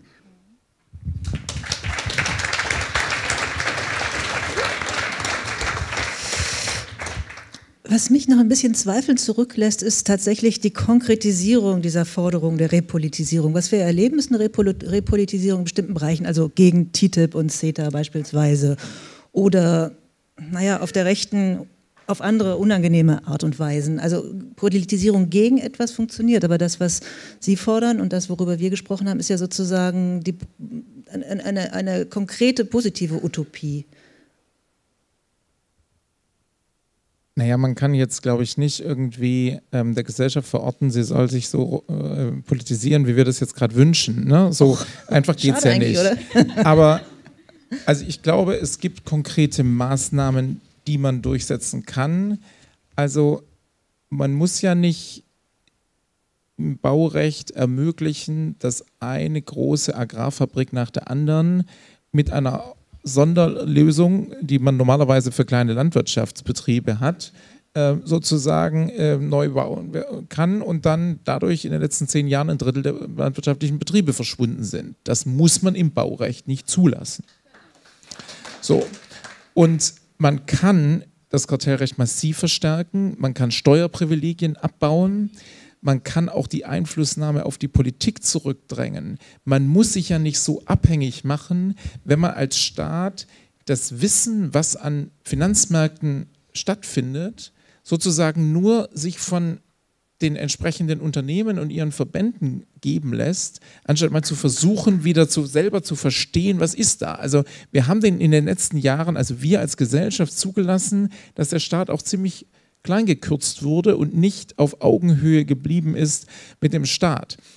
Und ich glaube, die Herausforderung oder die, die Chance, die ich sehe, ist, ähm, dass wir tatsächlich in einzelnen Punkten politisch es schaffen, ähm, Punkte klar zu machen. Also bei der Wasserprivatisierungsgeschichte ist es gelungen mit der Bürgerinitiative. Bei TTIP ist es gelungen und äh, das wirklich in die Breite. Das wird nicht bei jedem einzelnen Thema gelingen, aber ich glaube, ähm, das ist durchaus ermutigend. Aber wichtig ist dieser Globalisierung der Machtstrukturen auch einen globalen Denkansatz entgegenzusetzen. Und das heißt eben, dass Grüne in Deutschland auch dann hier versuchen müssen, sehr klar zu sein, wenn die Basisproteste nicht in Deutschland stattfinden, sondern vielleicht in anderen Ländern und unsere Unternehmen betreffen.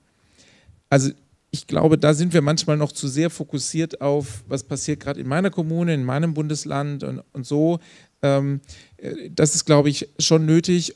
Und ich denke, für eine Repolitisierung ist auch spannend, dass wir diese Frage, wo geht die Reise eigentlich hin? Was ist denn eine Alternative zu dieser Wirtschaft, die von wenigen Großunternehmen äh, kontrolliert wird, die muss auch ein bisschen stärker noch leuchten. Da sehe ich schon auch noch konzeptionelle äh, Arbeit darin zu sehen.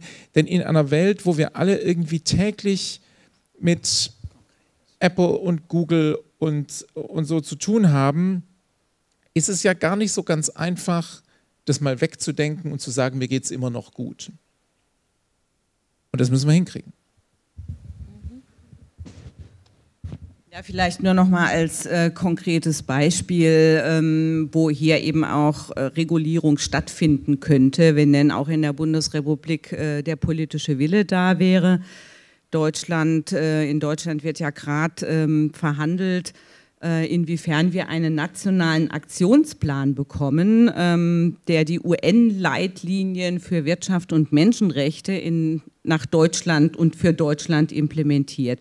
Hat genau damit zu tun, dass dann endlich mal vorgeschrieben werden könnte, wie deutsche Unternehmen im Ausland die im Textilsektor, im Bergbausektor äh, oder wo auch immer auch für Menschenrechtsverletzungen verantwortlich sind oder sein können, zu Sorgfaltspflichten äh, äh, verpflichtet werden, berichten müssen, offenlegen müssen. Selbst das gelingt derzeit nicht, na, weil die Lobbymacht von BDI, also ähm, wisst ihr die Abkürzung und BDI, also Arbeitnehmer und Industrieverbände, so massive Lobbyarbeit machen, dass derzeit noch nicht mal zu gelingen scheint, UN-Recht in deutsches Recht äh, äh, zu verwandeln. Mit solchen Einflussfaktoren haben wir es zu tun, bis eben dazu, dass dann auch äh, Schadstoffbegrenzungen ähm, für die deutsche Automobilindustrie von Deutschland mit aller Macht in Brüssel verhindert werden. Und da frage ich mich dann eben schon, wir können unmöglich als Bürgerinnen und Bürger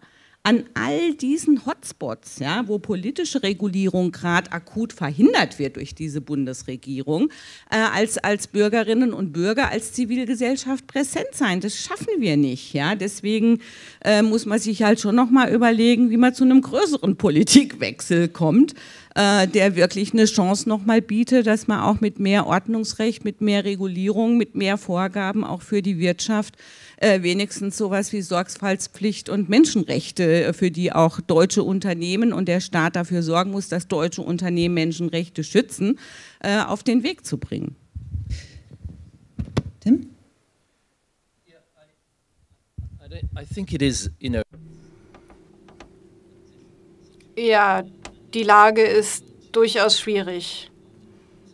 Und auch ein Appell an die gängigen Konzepte der Governance. Also es ist schon sehr eine Versuchung zu sagen, dass das alles zum Scheitern verurteilt ist. Aber man sollte vielleicht damit anfangen, nicht zu sagen, ja, sollen wir vielleicht hier mehr Ordnungsrecht einsetzen, wie können wir mehr Ordnungsrecht dort zur Geltung bringen lassen oder sollten wir vielleicht diese Steuern internalisieren, sollten wir eine Kampagne für steuerrechtliche Veränderungen in Gang setzen, sondern die Frage stellen, warum wurden die Regierungen denn so sehr in Beschlag genommen von diesen Interessen in einem Ausmaß, wo eben die Demokratie sich quasi machtlos fühlt und man nichts mehr in der Hand hat und nichts mehr da ist außer Desillusionierung, Verdrossenheit, Apathie und manchmal auch gewaltsame Proteste. Und wenn diese Fragen dann gestellt werden auf diese Art und Weise, dann glaube ich, dass zwei Antworten gegeben werden können. Eine wäre, dass man sich die Politik anschaut, was wirklich am Rande der Demokratie abläuft. Denn da sind wir ja am Rande der Demokratie und das sollten wir uns eingestehen, dass die Vision einer Demokratie der Teilhabe gewissermaßen ein bisschen gescheitert ist und die ähm, Führungskräfte genießen auch das Vertrauen nicht mehr derjenigen, die sie wählen sollten. Das Vertrauen über einen Punkt zu sprechen, was leider noch nicht zur Sprache gekommen ist, nämlich die Herausforderung der Aussicht eines Brexits. Und ich muss das ja tun. Ich muss mich damit traurigerweise auseinandersetzen und schrecklicherweise mit dem Ergebnis dieses Referendums dafür, dass Großbritannien dieses großartige Projekt der EU verlassen muss. Und da wird jetzt gesagt, ab jetzt machen wir unser eigenes Ding. Und das muss auch vor diesem Hintergrund des Versagens der Regierungen verstanden werden. Der Brexit war keine rationale Entscheidung und hat gar nicht die eigenen besten Interessen der Zukunft mit in Betracht gezogen, sondern das war sozusagen ein Wutschrei einer entmachteten Gesellschaft, die eben kein Vertrauen mehr hatte in eine Minderheit, die irgendwie korrupt war, eine Regierung, die so korrupt war und nichts geliefert hat, was eine Regierung liefern sollte. Und wie konnten denn die Regierungen in einer solchen Sackgasse landen und wie kann man da wieder rauskommen? Und wenn man diese neue Politik anschaut, die uns umgibt, da gibt es zwei Möglichkeiten, sich zu befreien. Das eine wäre eine populärbasierte Politik und Leute wie Corbyn und Sanders und Pablo Iglesias oder Yanis Varoufakis Menschen, die diesen Geist der Teilhabe in der Demokratie auch leben, in einem äh, System, das sie natürlich auch umwälzen wollen. Und das ist eine Bewegung, die im Gange ist, die auch die Leute fasziniert und insbesondere auch die jüngeren Leute fasziniert und junge Leute, die eine neue Demokratisierung wünschen, eine andere Art der Regierungsführung, wo sie auch selbst teilnehmen können. Und da ist, denke ich, schon eine Aussicht für eine andere Politik. Nur um den zweiten Gedanken zu Ende zu führen, das ist wie ein kleiner Schlüssel. Ich möchte auf die Frage zurückkommen, warum diese Regierungen so von den Machtinteressen und dem großen Geschäft gefangen genommen wurden oder in Beschlag genommen wurden. Ein Grund ist folgender, nämlich dass verspricht das Big Business den Regierungen, nämlich Einkünfte, Profite, Gewinne, Wachstum, manchmal auch verdeckt, aber manchmal auch durch ein Steuersystem oder ein Konsumsystem verspricht es die Möglichkeit, weiter regieren zu können. Und die Regierungen, die hängen sich daran und haben da gar keine Wahl momentan, obwohl sie diese Wahl haben könnten. Sie könnten diese Entscheidungsmöglichkeit auch wieder für sich zurückgewinnen, indem sie diese Nachwachstums- Nachwachstumsökonomie aufbauen oder auch die Kontrolle wiedererlangen über einen wichtigen Aspekt, nämlich die Möglichkeit, selbst zu investieren in die soziale Infrastruktur ihrer eigenen Nationen, in den Wohlstand, das Wohlergehen ihrer Nationen, um ein Geldsystem ins Leben zu rufen, welches solche Investitionen erst ermöglichen würde. Und die Beweise dafür sind ja ganz liegen auf der Hand. Also die Reaktionen auf die Finanzrezession, da empfehle ich das Buch The Body Economic. Da gibt es eine Fallstudie oder mehrere Fallstudien, die uns zeigen, dass die Auswirkungen der Rezession oder einer versagenden Wirtschaft ganz anders aussehen können, je nachdem, welche Rolle die Regierung spielt. Und manchmal haben die Regierungen ja das Potenzial zu sozialen Investitionen und da kann man die äh, Situation doch verbessern, auch in Wirtschaftskrisen. Wenn jedoch die Regierungen weiterhin sich den Interessen der Unternehmen beugen und Sicherheitsnetze für die Banken spinnen, ohne sozial zu investieren, dann kommt man in eine Lage, wo äh, das System tatsächlich zusammenbricht. Und dieser Zusammenbruch ist ein Problem für die Regierungen, denn die haben da auch gar keine Legitimität mehr. Und immer wieder erlebt man, wie diese Legitimität verloren geht und wie Regierungen da niederliegen. Und in diesen beiden äh, Lösungen gibt es, gibt es sozusagen einen Anreiz. Da könnten die Regierungen die Bedingungen schaffen für ein bedeutungsvolles Regieren, wo eben die Macht der Menschen wieder eine Rolle spielt in einer partizipativen Demokratie und diese giftige Verbindung zwischen den Unternehmen und den Regierungen endlich aufgebrochen wird.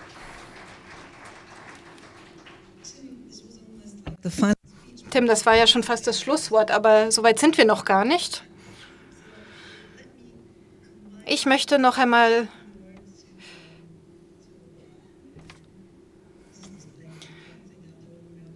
Ja, jetzt bin ich nach anderthalb Stunden schon müde. Möchte ich Gerd noch einmal das Wort erteilen und eine Frage stellen, die ich von der, vom Publikum zugespielt bekommen habe.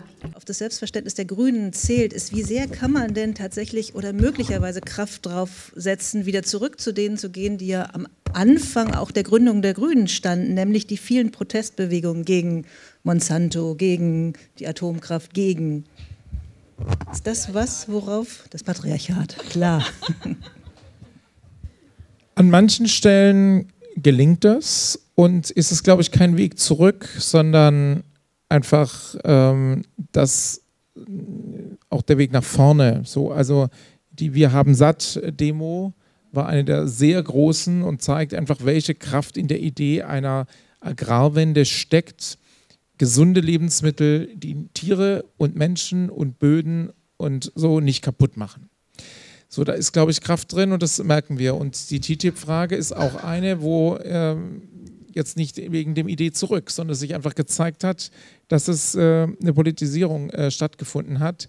Ich glaube übrigens, dass es nicht zufällig ist, weil dieses Gespür, dass Regierungen, und das fand ich gerade sehr gut dargestellt, eben aufgrund dieses Wettbewerbs um Kapital eigentlich ständig sich danach stärker ausrichten müssen als Wähler. Stellt eine Frage nach unserem Globalisierungsmodus. Und wir werden uns mit der Frage, wie kann eine Globalisierung stattfinden, die eben die Demokratie nicht in die zweite Reihe verbannt, nochmal weiter beschäftigen müssen. TTIP ist ein Abwehrkampf vor etwas, was es noch schlechter machen würde. Aber wenn TTIP und CETA nicht kommen sollten, dann haben wir das Problem, was heute schon da ist, noch gar nicht gelöst.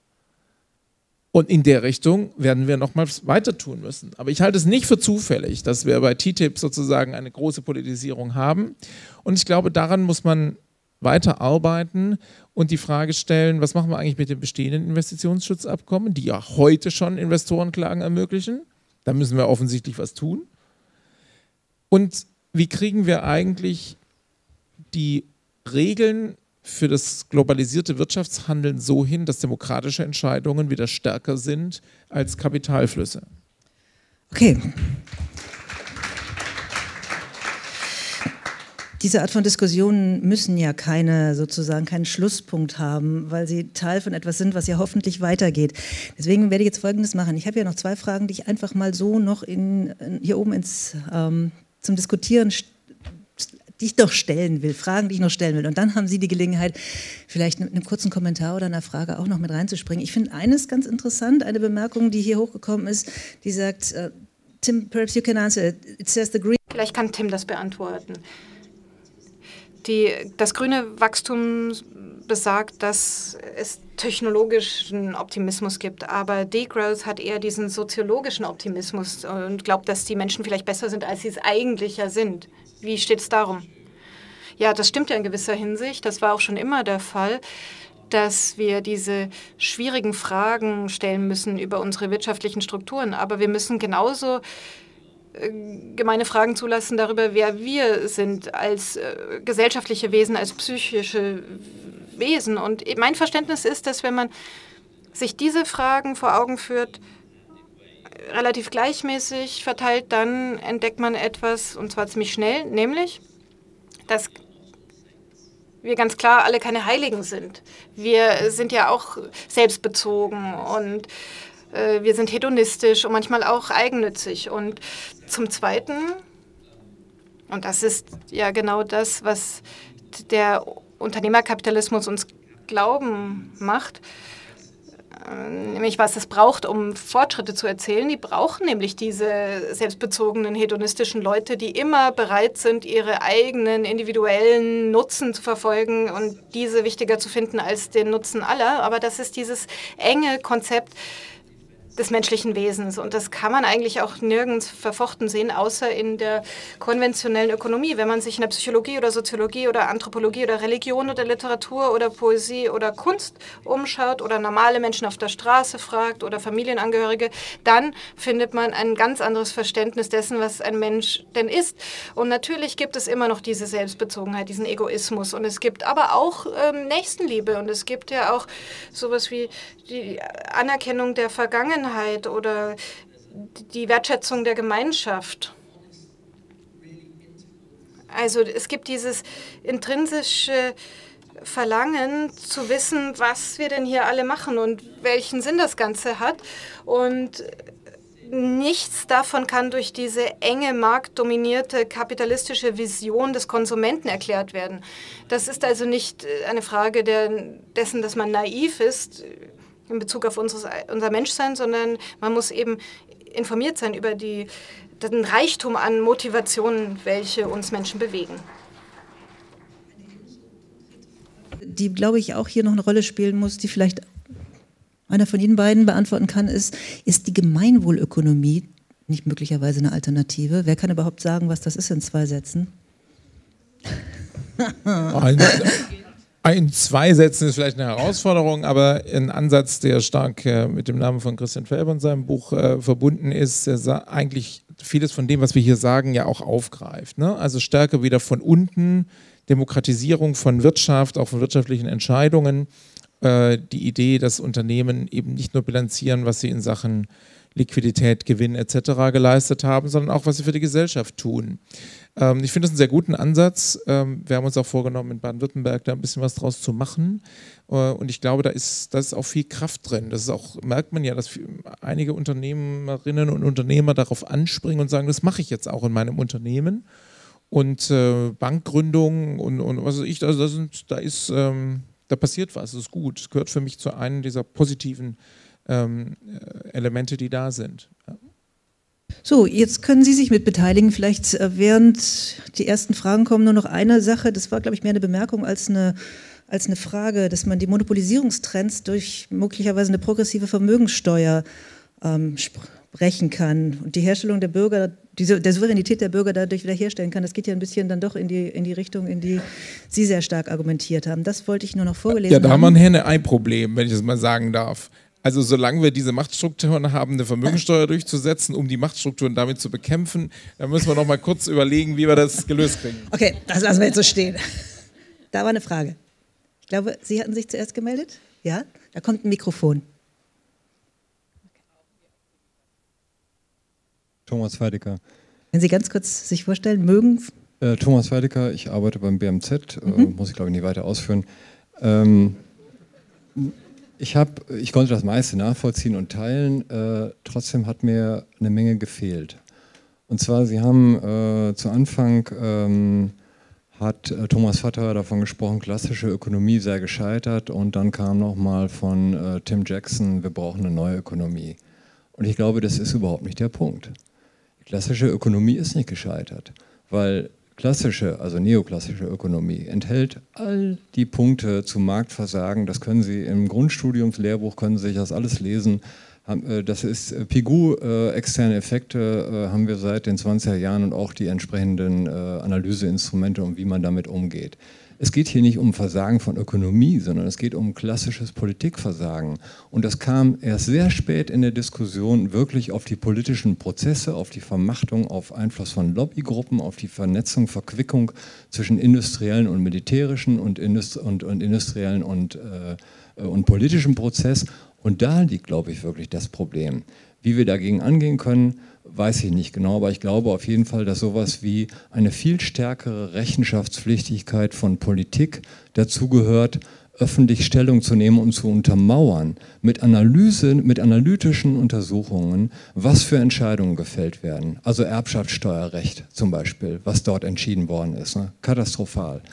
Und, das, und dafür wirklich auch in die Pflicht genommen zu werden, öffentlich zu erklären, wen sie dort begünstigen und was die Konsequenzen sind. Und das findet eben nicht statt. Ähm, vieles wurde gesagt, EU, Monopolisierung und all diese Geschichten, möchte ich nicht ähm, weiter darauf eingehen. Was mich verwundert hat, war äh, von Ihnen, Herr, äh, Herr Schick, äh, dass Sie sagten, also uns fehlen die Konzepte für den Übergang. Ich glaube, das stimmt nicht. Äh, wenn ich einen Planeten mit endlichen Ressourcen habe, dann ist es doch nur logisch, dass ich diese endlichen Ressourcen runterdefiniere in Verbräuche, die praktisch langfristig nachhaltig sind. So, und da muss ich politisch ansetzen. Und wenn ich das mache, dann kann ich auch in gewisser Weise praktisch Wachstum äh, mit äh, Ökologie äh, aussöhnen. Und das heißt konsequent äh, auf der individuellen Ebene, zum Beispiel bei Ressourcenverbräuchen oder bei Wasserverbräuchen, Energieverbräuchen, progressiv zu besteuern. Ich habe ein bestimmtes Endowment, das ist sehr billig, sodass ich auch noch sozial Schwache das leisten können. Und den Rest äh, steigere ich exorbitant, also die SUV-Debatte zum Beispiel. Also all diese Punkte sind da, von daher, das kann ich nicht nachvollziehen, aber vielleicht kommentieren Sie nochmal. Danke. Okay. Ich würde gerne noch zwei Fragen, Bemerkungen sammeln und dann wieder nach hier oben zurückgehen, in der ersten und in der dritten Reihe. Ah, ja, aber ich habe noch keine einzige Frau gehabt, die hat eine aufgezeigt. Wo? ich, ich, also, Mädels, kommt. nee, nee, nee, nee, wir machen jetzt da weiter. Ähm, ja, vielen Dank. Mein äh, Hintergrund ist Landwirtschaft. Gunnar Demuth heiße ich. Ähm, Landwirtschaft in Deutschland ist Privatsache. Und einer der, Grün, einer der Gründer der Grünen, Baldur Springmann, sagte mal, Landwirtschaft ist gemeinnützig, grundsätzlich gemeinnützig. Herr Schick, an Sie die Frage, können Sie sich vorstellen, dass man mal langfristig diskutiert, wie privat darf Grund und Boden sein? Für mich ist das Privateigentum an Grund und Boden eine der Hauptquellen dafür, dass die Landnutzung in Deutschland heute so aussieht, wie sie aussieht. Und wenn wir da was ändern wollen, dann muss die Eigentumsfrage da, um das anzuknüpfen an Tim Jackson, die Eigentumsfrage bei Grund und Boden für mich ganz wichtig sein. Nicht nur Wasser ist Gemeineigentum, sondern auch Grund und Boden. Okay. Und in der dritten Reihe, so wie eine Frau aufzeigt, kommt sie dran. Hallo, ähm, Dominikus Vogel. Ich habe einen sozialwissenschaftlichen Hintergrund und im Moment ähm, die Idee eines Friedensinstituts. Noch die Idee. Mhm. So, ähm, Tim, I have a question. You said you. Tim, ich habe eine Frage. Sie sagten, dass Sie gerne ein Sprachspiel spielen mit den Partnern, mit denen Sie zusammenarbeiten. Und Sie haben auch erwähnt, dass es ja irgendwo draußen Feinde gäbe. Was wären denn die Feinde, die ich in meiner Arbeit einladen müsste? Die Frage, die möchte ich hier stellen. Und mein Sprachspiel ist nun folgendes, dass ich mit Ihnen spielen möchte. Welche sind denn die Partner und Freunde, mit denen ich zusammenarbeiten sollte, um am Prozess der Transformation zu arbeiten? Denn in diesem Prozess der Transformation, glaube ich, gibt es doch gar keine Feinde. Oder nicht, es gibt keine Feinde mehr. Das wäre meine Frage. Okay. Kommen wir mal nach hier vorne zurück. Who's gonna start? Privateigentum an Land?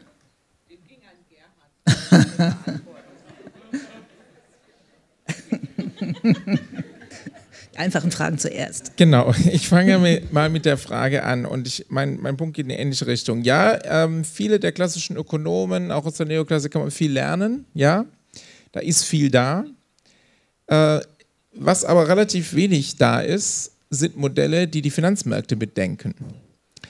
Und ähm, ich empfehle nur das äh, neue Buch von Ulrike Herrmann, äh, wo sie sehr gut zeigt, äh, dass einfach viele Sachen in den klassischen ähm, Lehrbüchern da sind, aber dass natürlich auch äh, wir bestimmte Sachen auch in den Modellen ähm, äh, fehlend haben, die heute verwendet werden.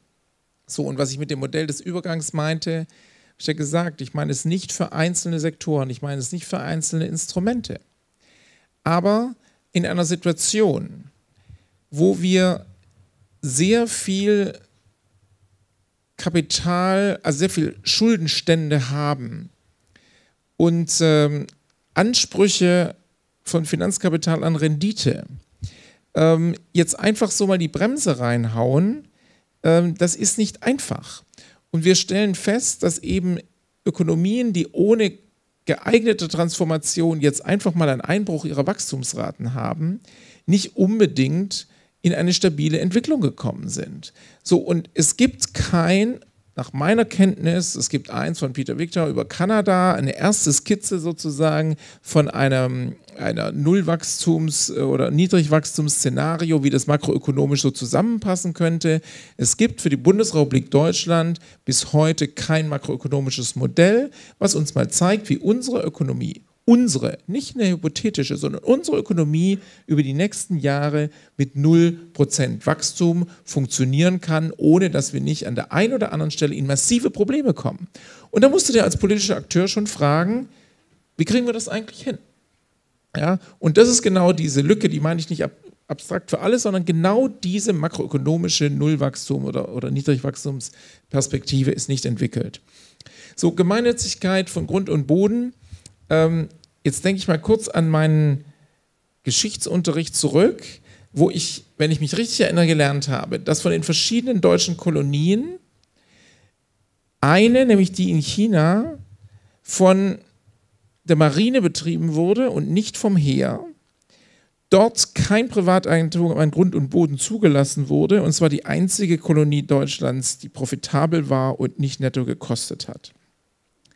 So, es gibt also so ein paar Hinweise, die uns sagen, da könnte ein Punkt sein. Und wir wissen auch, dass Immobilienmärkte, die heiß laufen bei Finanzkrisen, eine große Rolle spielen.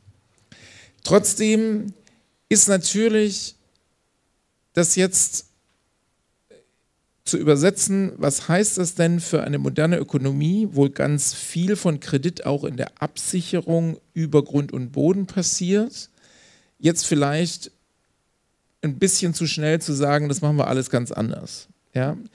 Ähm, aber dass wir sehen müssen, äh, dass es da bestimmte Grenzen auch in der Konzentration von Immobilieneigentum braucht, dass wir uns auch überlegen müssen, wie wir diese immer wiederkehrenden Spekulationswellen, die ganz häufig mit dem Immobiliensektor zu tun haben, anschauen. Ähm, das meine ich auf jeden Fall.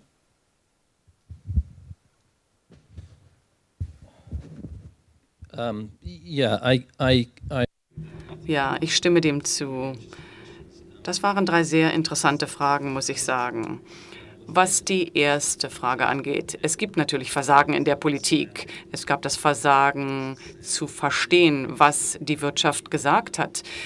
Hat die Wirtschaft eigentlich jemals berücksichtigt, dass die Unternehmensmacht den Markt aufwühlen kann. Ja, Adam Smith hat das ja schon gesagt vor 250 Jahren. Also es gibt Dinge, wo wir Politikversagen beobachten konnten oder eine Missrepräsentation der Wirtschaft. Aber es gibt auch Versagen innerhalb der Wirtschaft selbst. Und dieses Scheitern, dieses Versagen ermutigt uns, die Fundamente der Wirtschaft genauer anzuschauen. Es gab ein Versagen beim Verstehen der Dynamik der Märkte, insbesondere der Finanzmärkte die Art der Wirtschaft, die die Politik geerbt hat, hat natürlich viel zu tun mit dem freien Spiel der Mächte, die nach wie vor und weiterhin verzerrt wurden und werden. Aus, die, die Wirtschaft hat das nicht begriffen, weil man einfach ein falsches Verständnis des rationalen Verhaltens der Menschen hatte. Das heißt, es gab Versagen sowohl in der Politik als auch in der Wirtschaft. Dann Eigentümer schafft an Land und Boden. Ich stimme Ihnen zu. Das ist eine Lektion, die wir von Thomas Piketty gelernt haben. Sein Verständnis dahingehend, wie man Wachstum, Verzeihung, Wohlstand anwachsen lässt und akkumuliert. Diese Akkumulierung kann man durchbrechen, denn sie führt zu Ungerechtigkeiten und Thomas' Vorschlag ist eine Vermögenssteuer. Aber man kann natürlich auch andere Eigentumsstrukturen denken, insbesondere in Bezug auf Land und Boden in Bezug auf das Erfahren von Land, in Bezug auf das Erfahren von Häusern, die wir ja so gerne besitzen. Wir geben sie weiter. Wir akkumulieren Schulden auf der einen Seite, Kapital auf der anderen und reichen die Häuser dann weiter. Das ist vielleicht hilfreich für die Gesellschaft, vielleicht aber auch nicht. Um die Wirtschaft zu retten, um die Sprache der Wirtschaft zu retten, fehlt uns etwas. Wir haben kein Verständnis dessen, dass wir dafür, dass wir etwas Radikaleres brauchen, was diese Vermögensbeziehungen angeht und die Verteilung von Vermögenswerten innerhalb der Gesellschaft. Dann in Bezug auf die Frage, gibt es noch andere Feinde? Ich glaube, ich habe das Wort Feind gar nicht verwendet, aber ich habe es in kriegsähnlichen Termini versucht zu erklären in diesem Niemandsland. Indem ich das Niemandsland ansprach, sagte ich, dass man sich keine Feinde leisten kann. Es stimmt also, was Sie sagen in gewisser Hinsicht.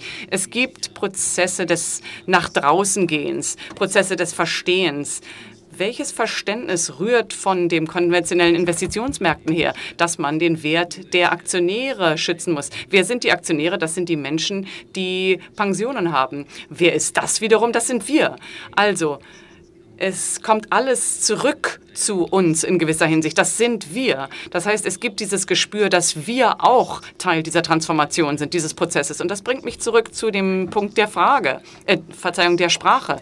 Die Sprache wird genutzt als Mittel, um uns abzugrenzen von ihnen, um diese Partei abzugrenzen von jener.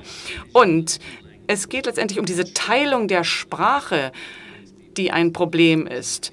Und anders kriegen wir die Leute in den Dialog nicht in der Art und Weise, wie Sie das vorgeschlagen haben. Letzte Frage an die Frau auf meiner Seite stellen. Was ist denn das nächste Buch? Was steht da nicht drin? Ist jetzt gemein. Ne? Also ich habe sehr viel Ermutigung bekommen, ähm, doch an dem Thema Pol der Repolitisierung von Ökologie und ähm, der, der Wiederaneignung des Begriffs von politischer Ökologie zu arbeiten.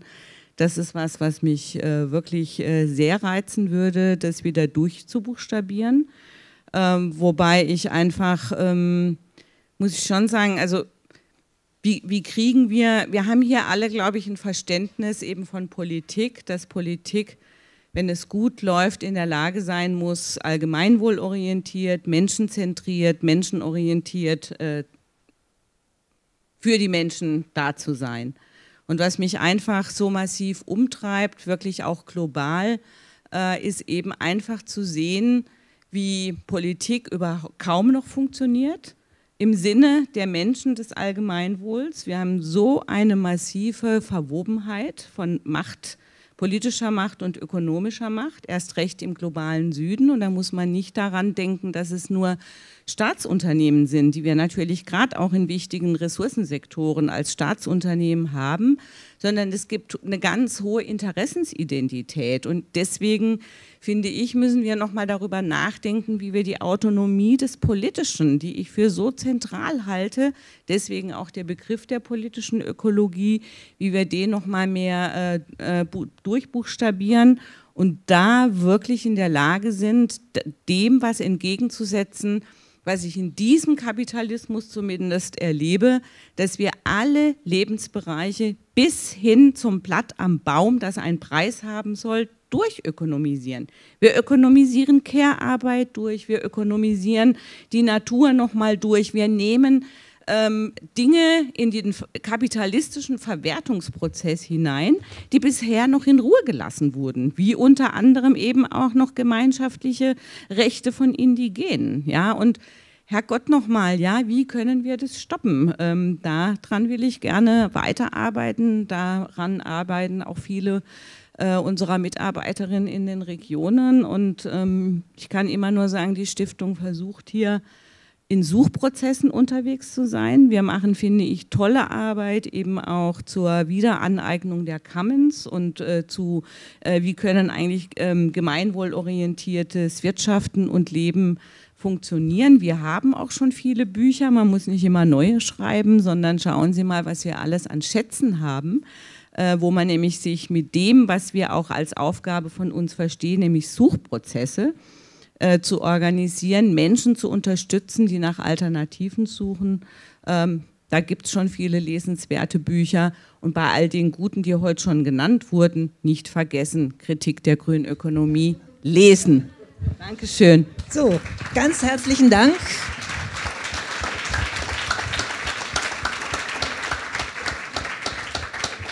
Ich sage jetzt eigentlich gar nichts mehr, außer genießen Sie den Rest des Abends. Ich hoffe, Sie haben den ersten Teil auch genossen und gucken Sie noch mal hinten, darüber. Das kommt dann nach unten zum Ausgang. Danke fürs Zuhören. Tschüss. Sie sind noch zu Wasser und Brot eingeladen. Weil Schrumpfen ist ja auch ein wichtiger Aspekt ne, einer anderen Ökonomie.